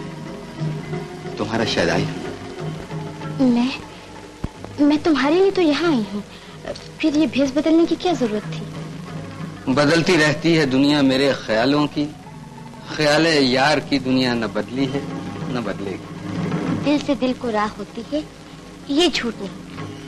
हम्म। श्याम बाबू के खर्च पे तुम्हारे पास भी आ गई और ये जेवर भी हथिया लिया। पाँच सात हज़ार का ज़रूर होगा। है ना बनारसी हाँ कोई नहीं। मगर मैं भैरव नहीं जो इन बातों में आ जाऊँ तो फिर तुम्हें कैसे यकीन लाऊं? अभी पता चल जाएगा। चले कहा? पंडित को बुलाने पंडित? हाँ शादी के लिए। तुम मुझसे तैयार हो शादी के लिए? आज और अभी। इतनी जल्दी क्या है? मैं तो यही हूँ अब। आज का काम कल पर मत छोड़ो। यह है बनारसी प्रसाद का असूल। नहीं नहीं। क्यों नहीं? आज आज का मुहूर्त शुभ नहीं। हम्म तुम हमसे ज़्यादा होशियार हो गई हो क्या? तुम्हारी मर्ज़ी। अशुभ घड़ी में ब्याह हुआ तो यही होगा ना कि मैं ज़िंदा नहीं रहूँगी। जाओ बुला लो पंडित। मैं खुद जाऊँ? हम्म, मैं वो नहीं कि तुम हो कहीं और कहीं मैं। मैं हूँ तुम्हारा साया जहाँ तुम वही मैं। खुद आ जाए।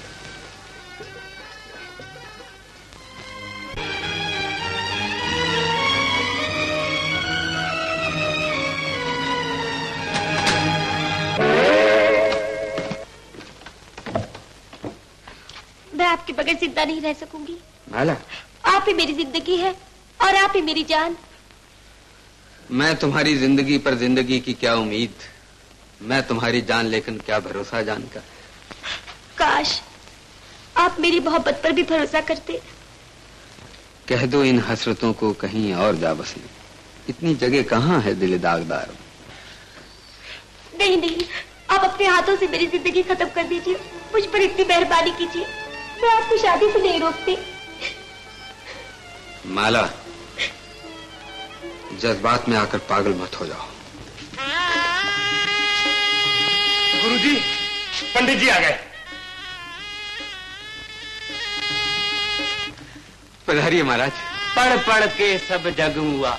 पंडित भयो ना कोई ढाई अक्षर प्रेम का पढ़े इस पंडित होए। धन्य महाराज। ये कन्या है। नहीं महाराज वो असली कन्या तो अंदर है। इसकी आँखों में नीर देखकर मैं समझा यही है। कारण ये बच्चा माँ बाप का घर छोड़ पराई होते समय सब देवियाँ रोया करती हैं। आप भी किस पुराने समय की बात करते हैं पंडित जी? आजकल की देवियाँ नहीं रोती हैं। पधारिए ना बच्चा मेरा पहला प्रश्न ही गलत निकला। आज का मुहूर्त शुभ नहीं बच्चा। ये शुभ अशुभ मैं नहीं मानता महाराज। जैसी भक्त की इच्छा। पंडित को तो अपनी दक्षिणा से मतलब है बच्चा। हवन कहाँ होगा? सामग्री लेकर आया हूँ। महाराज ये हवन सामग्री भी छोड़िए। चल के दो मंत्र पढ़ दीजिए बस। जैसी जजमान की इच्छा पूरी फरंगी रीत से ही लगन करा देता हूँ बच्चा। फरंगी रीत? हाँ। दुलारे फरंगी चले गए रीत छोड़ गए। थैंक यू फरंगी थैंक यू आइए महाराज फरंगी रीत से कीजिए। महाराज। पधारिए महाराज कोयली पंडित जी आ गए। तू ये जाने बाबरे बिन करता संसार। करने का फल पाएगा। आज नहीं दिन चार। धन्य महाराज धन्य। बस आपकी कृपा चाहिए महाराज। आहा कन्या का मस्तक तो पूर्णमासी का चाँद धन्य महाराज। ऐसी तेज वाली देवी का ब्याह। फ़ौरन होना चाहिए महाराज। फ़ौरन नहीं बच्चा ऊट पटांग रीति से ना होना चाहिए। हाँ? तुम्हें जल्दी क्या है बच्चा? महाराज इस शुभ काम में देर करनी नहीं चाहिए। कोई और रीत निकाल लीजिए ना महाराज। पंडित जी ठीक कहते हैं बनारसी। अशुभ घड़ी में ब्याह करके तुम मेरी मौत चाहते हो क्या? तुम्हारी मौत? मुझे खुद मरना है क्या? राहु केतु तुम्हारे आजू बाजू ऐसे खड़े हैं बच्चा तुम्हारा सर्वनाश हो सकता है।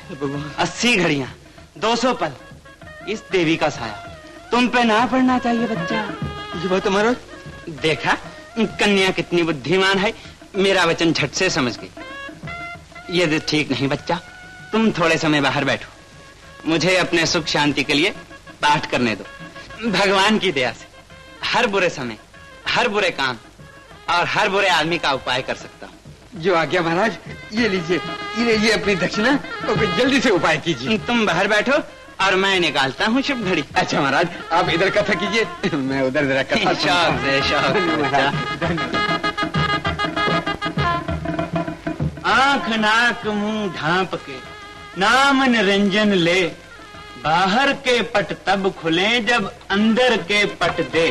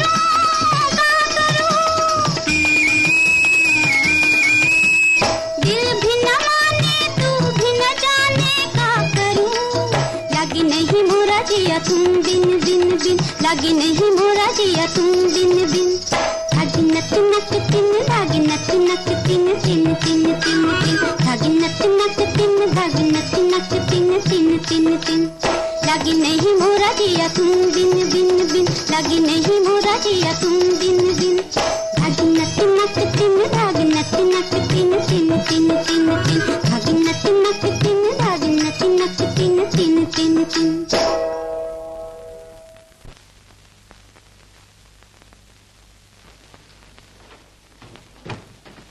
पंडित जी पंडित जी कोयली? पंडित जी पंडित जी कोयली?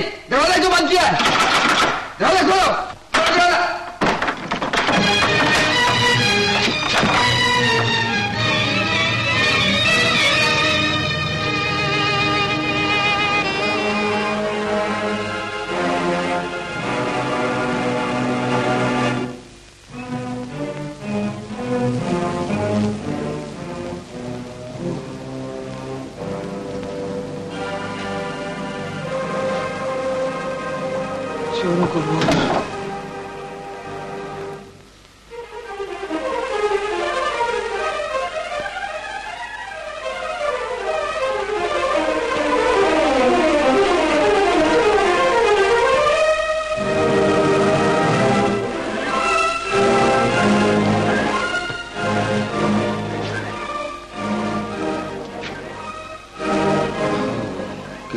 पूछें कहाँ तलाश करें। लुट गया आज काफिला दिल का। गुरुजी गुरुजी कोयली भाग गई क्या? पंडित जी कहाँ है? जहन्नम में। शर्म की बात तो यह है कि भैरव को क्या मुँह दिखाऊँगा सोसाइटी के मेंबरों में कितनी बदनामी होगी। हम्म, गुरु बनारसी प्रसाद जी। इसके जिम्मेदार आप खुद हैं गुरुदेव। अपना उपदेश आप खुद ही भूल गए गुरुजी। शादी मोहब्बत और जज्बात के चक्कर में पड़कर आप कमज़ोर और बुजदिल हो गए हैं।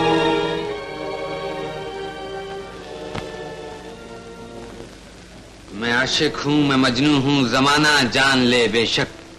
खुदा की जब नहीं चोरी तो फिर बंदों की क्या चोरी? लेकिन गुरुजी मुझे डर है कि ये कोयली किसी दिन आपके पाँव की बड़ी ना हो जाए। दुलारे! गुरु की कमान में भी बहुत से तीर बाकी। दोनों गुरुदेव। दुलारे।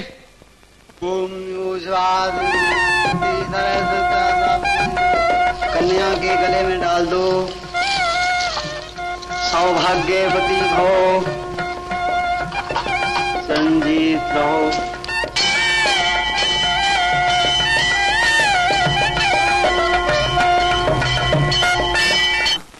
मुझे रात भर नींद नहीं है इस पछतावे में कि मैंने क्यों दुखाया तुम्हारा दिल? रामो? जी। वो लड़की जो गठड़ी छोड़ गई थी ना लाना जरा। उसे क्या करेगा बेटे? मैम मैं तुम्हें वो चीज़ दिखाना चाहता हूँ जिसकी वजह से मैं उल्लू बन गया और बिना सोचे समझे उसे अपने साथ ले आया। अच्छा अच्छा। चला। लो श्याम बाबू। ये है वो चीज़ अरे ये तो मिट्टी है बेटा। ये मिट्टी कोयली ने मेरे पाँव के नीचे से उठाई थी। क्यों? मेरी आँखों में झोंकने के लिए। कहने लगी अब ये मिट्टी मेरी मांग का सिंदूर बनेगी। और माँ उसने मेरे सामने अपनी मांग में भर ली। मैं तो हैरान हूँ माँ सीधे साधे लड़कों को फांसने के लिए क्या क्या नाटक करते हैं ये चालाक लड़कियाँ। अरे हाँ बेटा तू जो शादी रुकवाने गया था उसका क्या हुआ? तूने कुछ बताया ही नहीं। शादी तो होगी थी मेरे जाने से पहले। मैं तो रास्ते में एक ठग के घर रुक गया था ना। ठग? हाँ माँ। बदमाश मुझे दामाद बनाकर घर ले गया। वहीं मिली थी मुझे कोयली। वही होगा मालकन जो कल आया था। कौन? कौन आया था कल? उसी लड़की का बाप आकर लगा गरजने और पुलिस की धमकी देने। फिर? फिर क्या? पाँच हज़ार नकद देकर मुँह बंद करना पड़ा उसका। अरे माँ वो तो ठग था बदमाश। तुमने तो यूँ ही बस यूँ ही क्या? तू ले तो आया था उसकी लड़की को। चलो मालकन छोड़ो इस ज़िक्र को। पाँच हज़ार गया चूल्हे में। अपनी लाखों की इज़्ज़त तो बच गई। अब तो मालूम होगी लड़की और उसके बाप की औकात। मैं कहता हूँ मालकन अब अगर उन्होंने इस घर में कदम रखा तो मैं मैं उनकी टांगे तोड़ के रख दूँगा। ठीक है ना? बिल्कुल ठीक है। तू पहचानता उस लड़की को? बस एक नज़र देखा था दूर से। मैं पूछता हूँ अगर वो फिर तुम्हारे सामने आ जाए तो पहचान लेगा उसे? बस। अब नाम ना ले उस लड़की का मेरे सामने। मैं तो इसलिए पूछ रहा हूँ माँ कहीं उसके धोखे में किसी और की टांगे ना तोड़ दे। क्यों रे? पहचान लेगा उसे? नहीं किसी को दूर से देखकर भी कोई पहचान सकता है भला। तो डिंग क्यों मार रहा है? ऐसे ही। माँ मेरे एक दोस्त की चिट्ठी आई थी ना वो लड़की देखने के बारे में। हाँ हाँ। वही खुशबूदार लिफाफे वाली चिट्ठी। चलो मालकन आज ही चले। झट मंगनी और पट ब्याह। माँ मैं सोचता हूँ कि हम लोगों के वहाँ जाने के बजाय लड़कियों को यहाँ क्यों ना बुला लें? ठीक है। तू तो हमेशा उल्टी बात सोचता है। ये कैसे हो सकता है? ये भी ठीक है। माँ बात यह है कि कि अब लड़कियों पर से मेरा विश्वास ही उठ गया। जब तक कम से कम पंद्रह बीस दिन लड़की के साथ रहकर अच्छी तरह जाँच ना कर लूँ मैं शादी नहीं करूँगा। लड़की वालों के यहाँ बहुत रहे दो या चार दिन। इसमें क्या पता चलेगा कि लड़की कैसी है उसकी आदतें कैसी हैं? ये तो ठीक है बेटा। लेकिन कमारी लड़की को वो भेजेंगे कैसे? ये मेरे जिम्मे रहा। तुम कहो तो मैं आज ही दस बजे की गाड़ी चला जाऊँ। उन्होंने लड़की को भेज दिया तो ले आऊँगा वरना तुम अपनी मर्ज़ी की कोई और लड़की देख लेना। मेरा ख्याल है मालकन वो लड़की को ज़रूर भेज देंगे श्याम बाबू जैसा लड़का और हमारे जैसा घर कहाँ मिलेगा उनको? आजकल लड़की वालों के लिए बड़ी मुसीबत है। अच्छे लड़कों के लिए क्या क्या नहीं करना पड़ता है बेचारों को। तो मैं फिर जाऊँ माँ? अच्छा बेटा तुम तैयारी करो तब तक मैं मंदिर हो आती हूँ।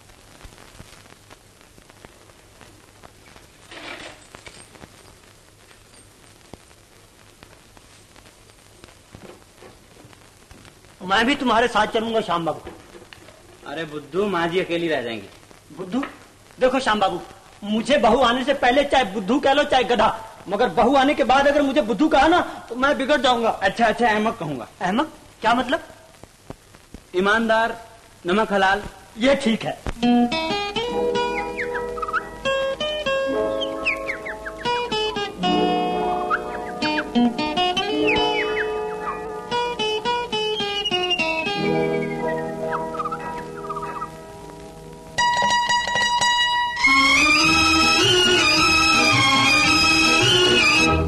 आज मौसम की मस्ती में गाए पवन। आज मौसम की मस्ती में गाए पवन। सनसना सनसना सनसनन सनसना सनसना सनसनन हर तरफ़ है महक। हर तरफ़ है चहक। हर तरफ़ है महक। हर तरफ़ है चहक। हर तरफ़ बातपन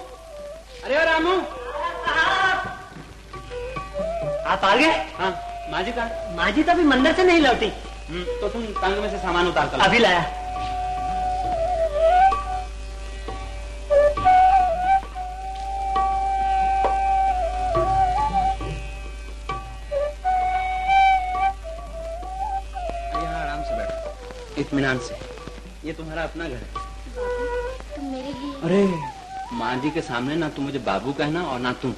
फिर क्या कहूँ? श्याम जी और आप? आप तो कह दूँगी मगर नाम नहीं लूँगी क्यों? नाम लेने से क्या होता है? सासू जी को गाली लगती है। हम्म, तो फिर माँ जी के सामने मुझे पुकारोगे कैसे? श्याम बाबू इनका सामान कहाँ जाएगा? मेरे कमरे में और कहाँ? अच्छी बात है। इनसे पूछिए नाश्ता के साथ क्या पियेंगी? अरे ये सब बाद में पूछ लेना पहले सामान तो रखा जा। कोई बात नहीं। बहू रानी को देखकर सामान का जरा भी वज़न नहीं लग रहा। इनसे मेरी जरा पहचान तो करा दीजिए। अरे अभी तो ये यही है। जा सामान रख दे वरना वज़न से तेरी कमर दोहरी हो जाएगी। जा। अच्छी बात है। अरे ये सामान किसका है? मेरा शाम आ गया क्या? हाँ मालकिन। जीते रहो बेटा जीती रहो। हाँ माँ उन्हें भी देख। लो लड़की आ गई क्या? हाँ माँ।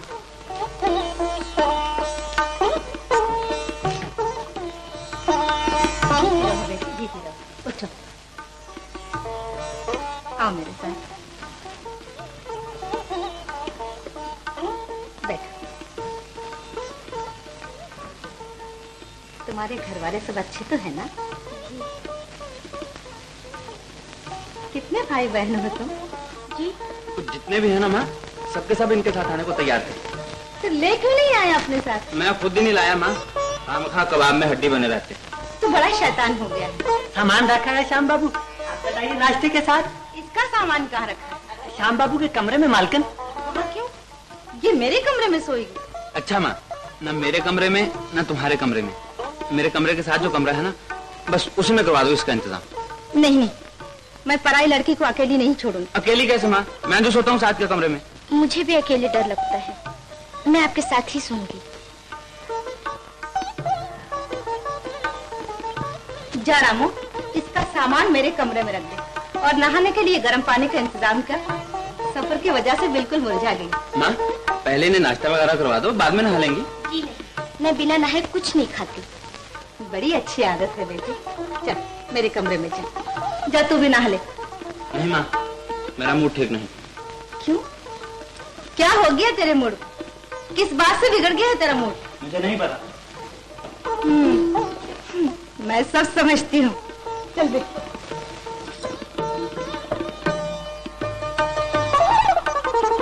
हाँ बेटी। मैं तो तुम्हारा नाम ही पूछना भूल गई। नाम क्या है तुम्हारा? जी मेरा नाम को जी कौशल्या है। कौशल्या? बड़ा प्यारा नाम है। मुझे तो आजकल के ये नाम रीटा नीटा फूमी रूमी बिल्कुल पसंद नहीं। आओ बेटी कौशल्या आओ। यहाँ बैठ बेटी धूप में बाल जल्दी सूख जाएँगे मैं जरा ठाकुर जी को भोग लगा कर आऊँ।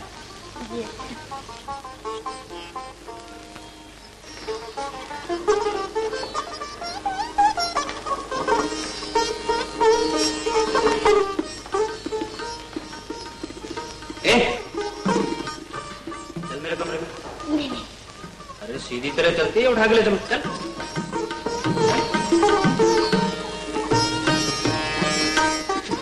तुम्हें डर लगता है ना मेरे साथ के कमरे में सोते हुए? वो तो मैंने माता जी को खुश करने के लिए कहा था। माँ जी ने तुमसे कोई और पूछताछ तो नहीं की? नहीं। वो डिबिया कहाँ है?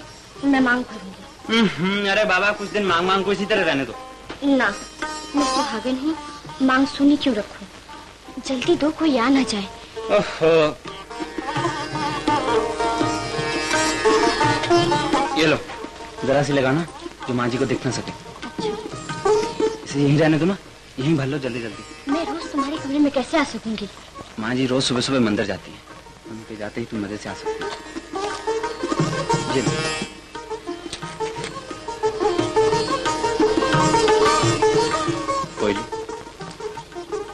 मेरे पाँव के नीचे से मिट्टी क्या उठाई?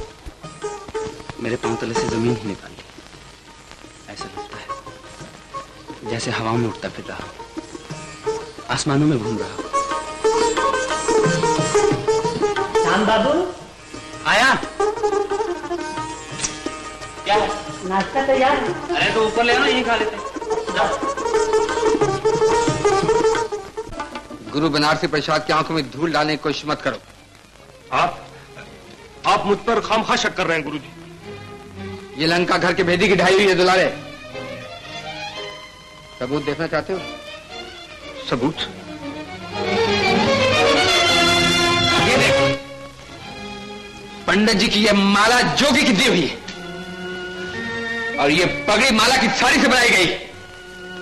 और ये हथौड़ी दुलारे के हथियार खाने से आई। दिल चाहता इसे थोड़ी सी सर के टुकड़े टुकड़े कर। गुरु जी कोयली की मोहब्बत ने आपको पागल कर दिया। इसके सिवाय और मैं कुछ नहीं कह सकता। मैं जा रहा हूँ। दुलारे! नहीं नहीं। नहीं चाहिए किसी की जान।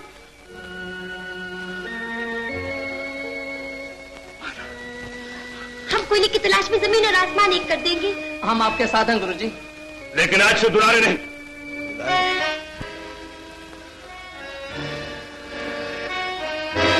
नहीं। कोयली मेरी है।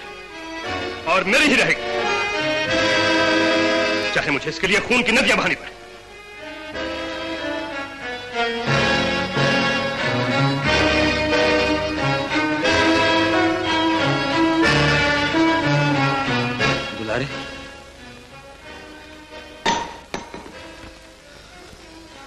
तुम्हें कोयली चाहिए? हाँ। तुम्हें कोयली मिलेगी। मैं आपस की फूट बर्दाश्त नहीं कर सकता। मैं इतफाक के लिए हर चीज़ कुर्बान कर सकता हूँ। मैं मैं कोयली की मोहब्बत भी कुर्बान कर सकता हूँ। मैं लाऊँगा। मैं कोयले को ज़रूर लाऊँगा। मगर अपने लिए नहीं। तुम्हारे लिए लाऊँगा। गुरु जी गुरु गुरु बनारसी प्रसाद जी की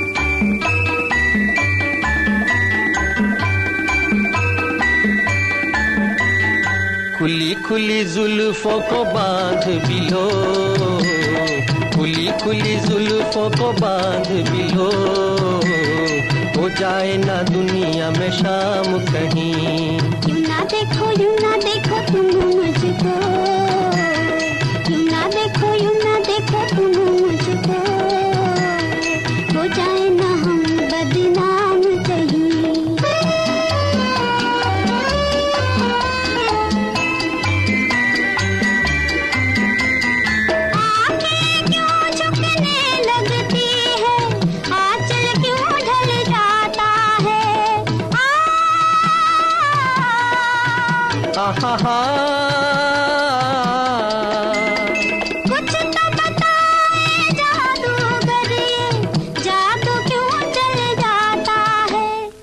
भोली भोली भोली बातें छोड़ भी दो।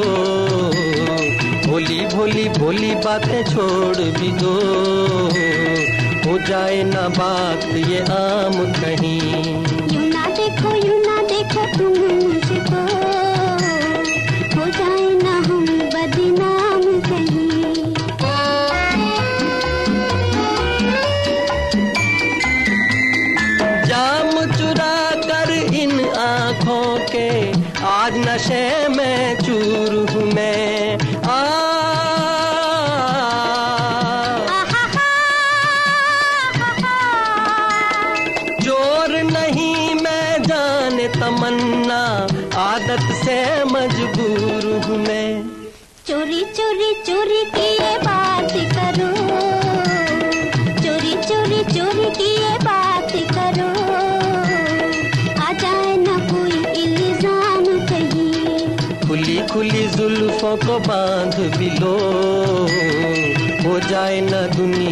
शाम कहीं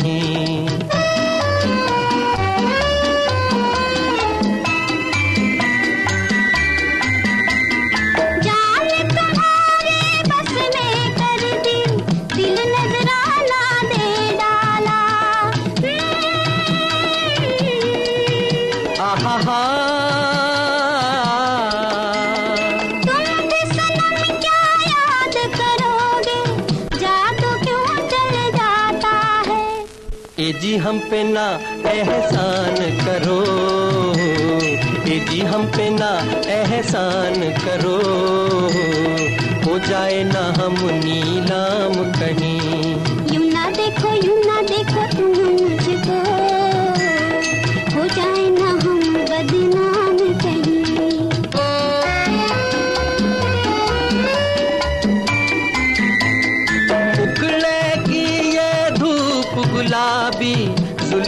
के रंगी साए। आ।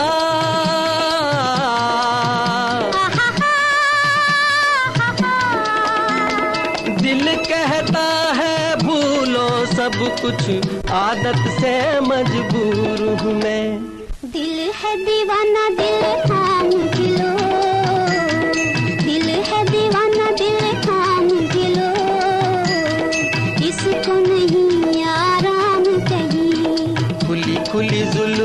को बाँध भी लो हो जाए ना दुनिया में शाम कहीं। बाबू? अरे? क्या बात है? माँ जी सो गई है। मुझे नींद नहीं आ रही। क्यों? भैरों से डर लग रहा है। कहीं कोई चाल न चले। हार कर चुप बैठने वाला नहीं। अब अगर उसने कोई शरारत की तो पुलिस के हवाले कर दूँगा। नहीं नहीं। पुलिस तक मामला गया तो सारा भांडा फूट कर रहेगा। माँ जी को मालूम हो जाएगा कि मैं कौन हूँ। हाँ। नहीं नहीं मुझे डर लगता है। अरे? तुमसे नहीं तुम्हारी इन शराबी आँखों से डर लगता है।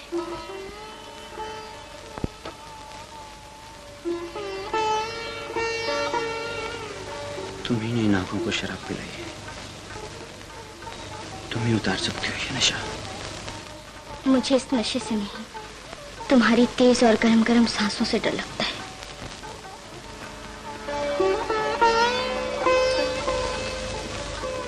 मेरी सांसों में ये हलचल तुम ही ने बचाई है। तुम ही शांत कर सकती हो ये तूफ़ान। मुझे इस तूफ़ान से नहीं तुम्हारी बेहोशी से डर लगता है। इस बेहोशी की दवा सिवाय तुम्हारे और किसी के पास नहीं। सच बताओ मुझे माँ जी से डर लगता है। जितना तड़पाओगी मैं उतना ही वो देखो माँ जी। कोयली। अब मैं सुबह आऊँगी। श्याम बाबू? श्याम बाबू? श्याम बाबू? क्या है? रात देर तक जागते रहे क्या? कितना बजे? साढ़े सात। साढ़े सात? माँ जी अभी मंदिर गए कि नहीं? गई हैं। क्यों? वो अभी तक कुशल्या जागे कि नहीं? अरे वो तो कब की नहा भी चुकी। हाल कमरे में बैठी चाय पी रही। मेरा एक काम करेगा? नहीं। मैं नाराज़ हूँ तुमसे। अरे क्यों? मैंने तुम्हें साफ़ मना किया था बहू रानी आने के बाद मुझे बुद्धू ना कहना। लेकिन कल फिर तुमने मुझे बुद्धू कह दिया उनके सामने। अच्छा बाबा भूल हो गई। अब तुझे बुद्धू नहीं अहमद कहूँगा बस। ठीक है। अब बताओ काम।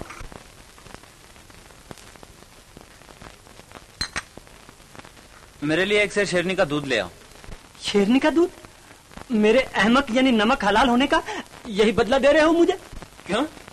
शेरनी मुझे चीर फाड़ कर खत्म कर दे यही चाहते हो ना तुम?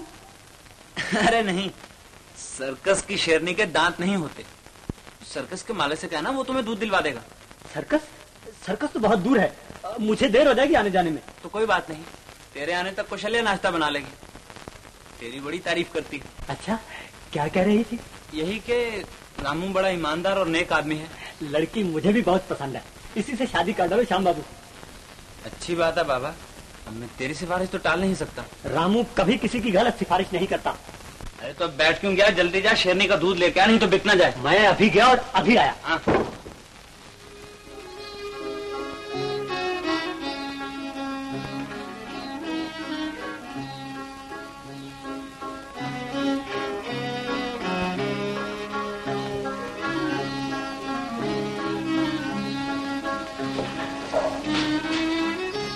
लड़की।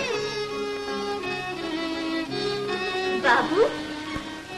खबरदार जो मुझे बाबू कहा मैं बाबू नहीं माँ हूँ उसकी।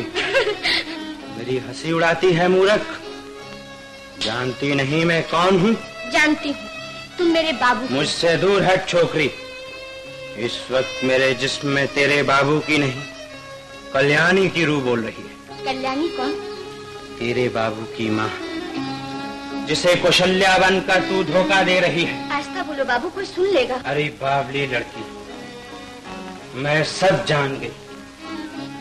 तूने मेरे भोले भाले बेटे को पागल बना दिया। निकल जा मेरे घर से छोड़ दे मेरे बेटे का ख्याल। भगवान के लिए मज़ाक छोड़ो बाबू मुझे डर लगता है। तो मैं क्या करूँ? तुम्हें तो हर वक्त डर लगता है दिन को भी और रात को भी।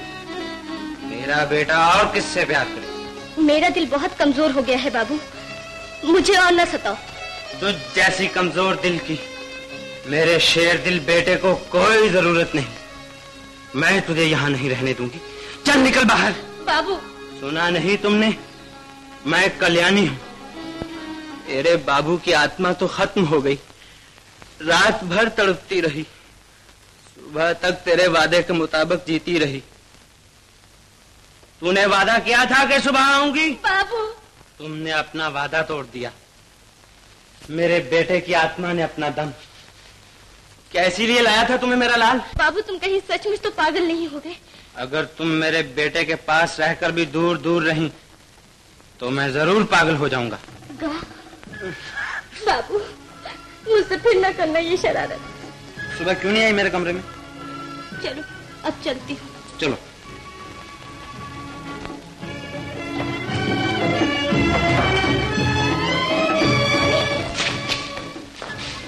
ये क्या स्वांग बना रखा है? इधर आ।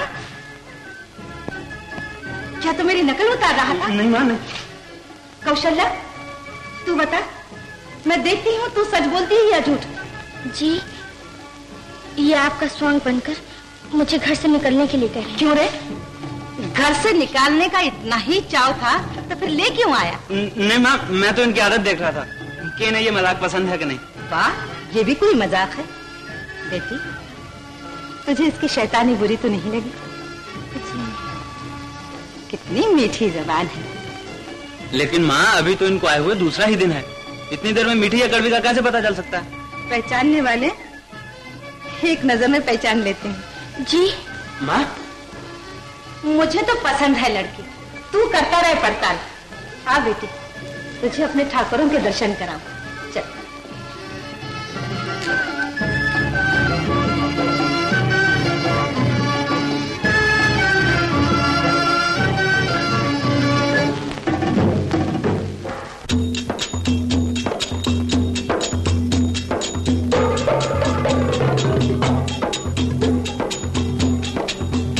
सुन सुन मेरे भाई, ये रुपया आना पाई, सब माया है पराई। कभी गई, कभी आई, मोह माया छोड़ दे। ओ बेटा छोड़ दे ये माया ये माया छोड़ दे।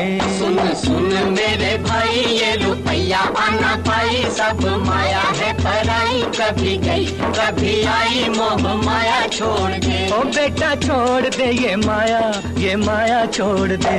जब दुनिया से जाना संग जाएगा ना आना ये तो माल है बेगाना जो भी है देखे जाना मोह माया छोड़ दे ओ बेटा छोड़ दे ये माया ये माया छोड़ दे। दास कबीरा दुनिया एक मुसाफिर खाना क्यों भाई हाँ? हाँ? किसी मुसाफिर खाने से फिर काहे प्यार बढ़ाना? क्यों भाई हाँ? हाँ? ओ बंदे ऊपर वाले से तू नाता जोड़ ले। ओ बेटा छोड़ दे ये माया ये माया छोड़ दे। सुन सुन मेरे भाई ये रुपया आना पाई। सब माया है पराई। कभी गई कभी आई मोह माया छोड़ दे। ओ बेटा छोड़ दे ये माया ये माया छोड़ दे। ये माया है ठगनी भैया लूटे देश विदेश क्यों भैया? हाँ? हाँ क्या क्या रूप दिखाए छलनी बदले सौ सौ भेस क्यों भाई हाँ? हाँ ओ तू इस ठगनी जादूगरनी से मुँह मोड़ ले। ओ बेटा छोड़ दे ये माया ये माया छोड़ दे। सुन सुन मेरे भाई ये रुपया आना पाई। सब माया है पराई कभी गई कभी आई मोह माया छोड़ दे। ओ बेटा छोड़ दे ये माया ये माया छोड़ दे। ये दुनिया एक भूल भुलैया ये जग गोरख धंधा। क्यों भाई हाँ? हर रास्ते पे जाल बिछा है कदम कदम पे फंदा। क्यों भाई हाँ। अरे बस तू राम भरोसे अपनी नैया छोड़ दे। ओ बेटा छोड़ दे ये माया ये माया छोड़ दे।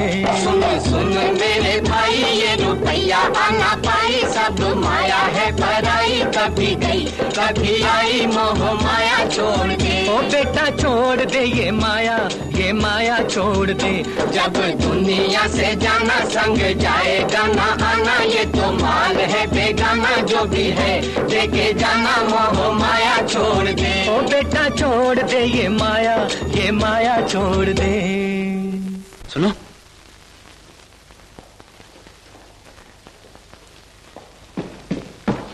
जानते हो कौन गा रहा है? नहीं। भैरों और उसके साथी।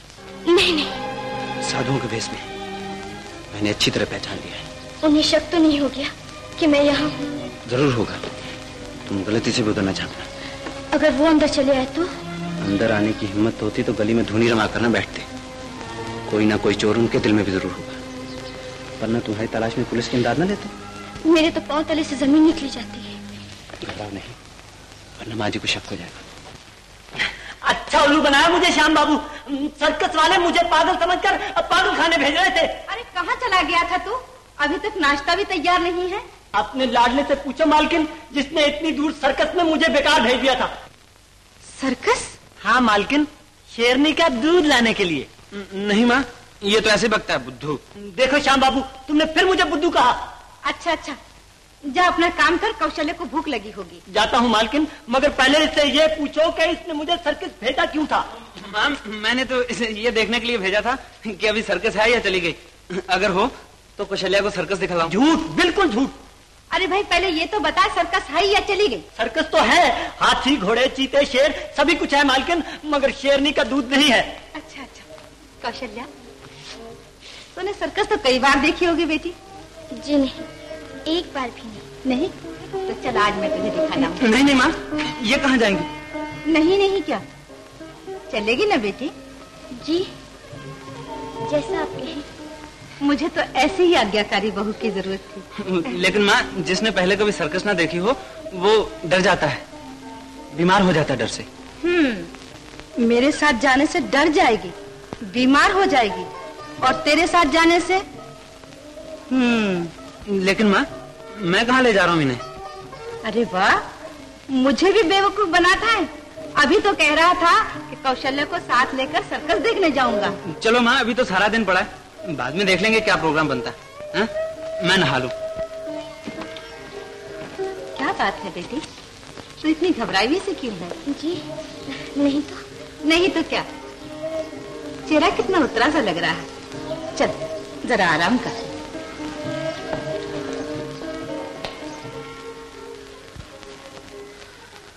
ओहो जोगी बेटा। हाँ महाराज। कलयुग आ गया बेटा घोर कलयुग आ गया। सच है महाराज। भोर से साँझ भई मगर इस गली वालों ने पूछा तक नहीं कि भगवान के भक्तों जलपान भी करोगे या भूखे ही मरोगे। सच है महाराज। अबे सच है महाराज के बच्चे सारा दिन माया के गीत गाता रहा किसी की माया खेचनी भी तो चाहिए थी इडियट मूंछ लगा के बैठ गया। है गुरु जी क्या है? अगर आज्ञा हो तो मैं अंदर जाकर कोयली को देखा खबरदार। मेरा मतलब ये है दुलारे नाथ तू उस बुढ़िया को नहीं जानता। बड़ी गर्म तबीयत की है कहीं उसने दाढ़ी नोच ली तो अपनी तबीयत सर्द हो जाएगी। हाँ तो चलो सुबह आके बैठेंगे। गुरु जी कोयली अवश्य घर में है। मोर्चा छोड़कर जाना ठीक नहीं गुरु दुलारे नाथ जब तक देखूँ ना अपने नैनी किसी की मानू हरगिज ना कहनी। कोयली को अंदर जाते देखा नहीं तो क्या मालूम वो अंदर है या बाहर है? गुरु जी मुझे भी भूख लगी है। हाँ बेटा अपने पेट का भी प्रातः काल होने वाला है। चलो दुलारे। गुरु जी आप खाना खा रही हम तो यहीं बैठते हैं। तो बेटा फिर हम भी यहीं बैठते हैं। एकता में संगठन है और संगठन में इतफाक है। इसलिए गुरु दोखम धाम जी धर्म से धड़े को ज़्यादा अच्छा समझते हैं। शंभू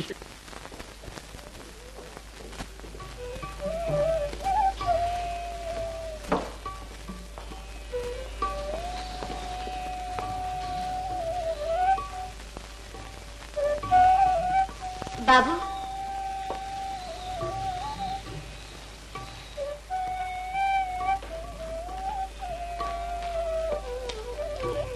तुम सर्कस जाने को सचमुच तैयार होगी? हाँ माँ जी की बात टालने की मुझमें हिम्मत नहीं। मगर वो बदमाश अभी बाहर ही बैठे तुम्हारा बाहर जाने में खतरा ही खतरा है। माँ जी भी जाने के लिए साड़ी बदल रही हैं। मैं तुमसे यही कहने खिसक आई उन्हें रोको किसी तरह। कोई बहाना सूझे तब ना। साफ़ तो उनसे कह नहीं सकता कि तुम तुम कह दो ना उनसे। कि तुम्हारी तबीयत खराब है सर में दर्द है। दिनी को कह देती तो ठीक था। अब तो अच्छी भली उनके सामने तैयार हुई हूँ। मुझे भी डर है। कहीं ज़्यादा बहस से माँ जी को शक ना हो जाए। कि मैं तुम्हें जाने से क्यों रोक रहा हूँ? फिर क्या करें? अभी अभी मैंने सुना भूख का रोना रो रहे थे। राम को भेजता हूँ। उन्हें मिठाई खिलाने किसी हलवाई की दुकान पर ले जाए। अभी तो शो में काफ़ी टाइम है। मगर वो साफ़ समझ जाएँगे उन्हें हटाने के लिए चाल है। हम्म, देखते हैं। अगर ये तरकीब ना चली तो अपनी तबीयत का बहाना बना लूँगा कि पेट में सख्त नहीं नहीं भगवान न करे। और कोई सूरत नहीं। तुम चलो मैं रामू को समझा के भेजता हूँ। चलिए महाराज मेरे साथ। कहाँ बच्चा? हलवाई की दुकान पर महाराज। हलवाई? क्यों बच्चा? आपकी पेट पूजा करा दूँ महाराज। तुम्हारे मालिक। धीरज बेटा गुरु के होते हुए शिष्य बोलने की आवश्यकता नहीं होनी चाहिए। हाँ तुम्हें किसने भेजा है बच्चा? श्याम बाबू ने महाराज। श्याम बाबू हाँ, जी हाँ। बड़े दयालु हैं। समझा। श्याम बाबू बड़े दयालु है ना? तो बच्चा फिर वो खुद चलकर महाराज के चरणों में क्यों नहीं आए? उन्हें जल्दी है। जल्दी है महाराज वो सर्कस जाने के लिए तैयार हो रहे हैं। सर्कस? वही जहाँ घोड़े गधे कुत्ते आदमी मिलकर खेल तमाशा करते हैं? जी हाँ महाराज हम सभी जा रहे हैं। सभी? हम तो नहीं जा रहे हैं बच्चा। फिर हम सभी कैसे जा रहे हैं? नहीं महाराज मेरे कहने का मतलब है मैं मालकन श्याम बाबू और उनकी होने वाली बहू। हाँ, बेटा हम लोग त्यागी हैं ना संसारी नहीं। सिर्फ़ इसलिए पूछता हूँ कि होने वाली का अर्थात है जो कि अभी नहीं हुई और जो नहीं हुई तो फिर वो इस घर में कैसे आ गई बच्चा?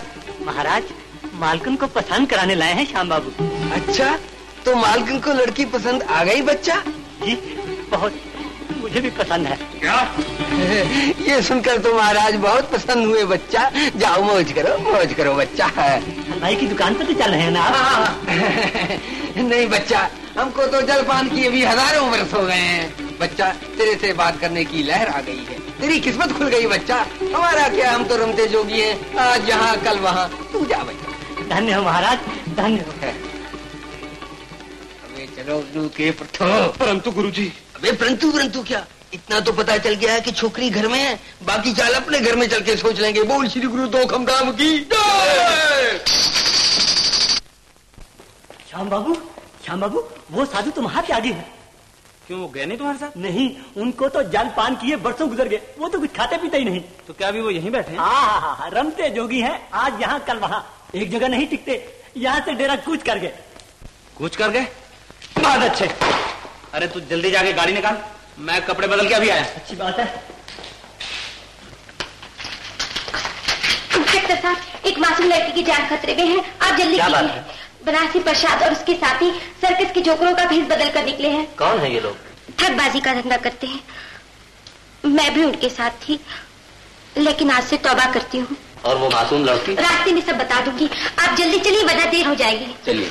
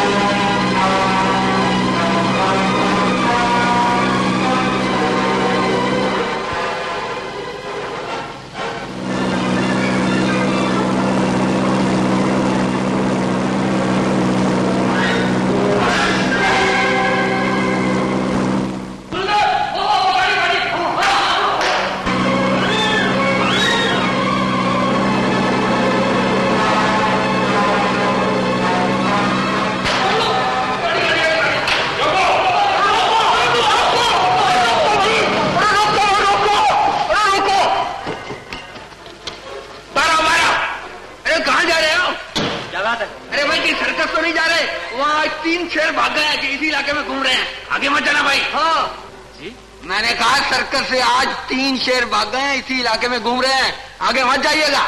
और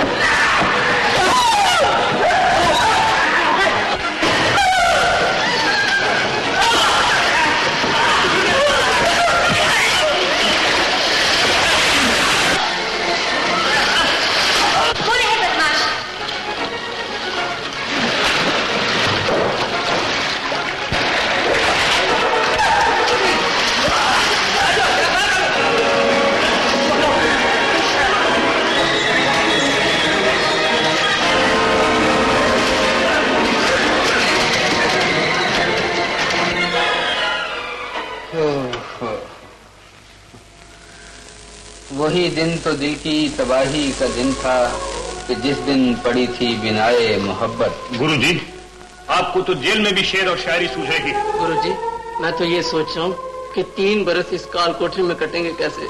बेटा दुलारे और मेरे बेटा जोगी तीन बरस कैसे कटेंगे? बस समझ लो कि हो गया ठंडा कलेजा बुझ गई दिल की लगी क्षमा के दामन से लिपटा रह गया परवाना आज। दुलारे। गुरु जी बेटा। बेटा जोगी। गुरुजी। आशीर्वाद लो बेटा। हे ईश्वर। हर तरफ़ है महक। हर तरफ़ है चहक। हर तरफ़ है महक। हर तरफ़ है चहक। हर तरफ़ बात बन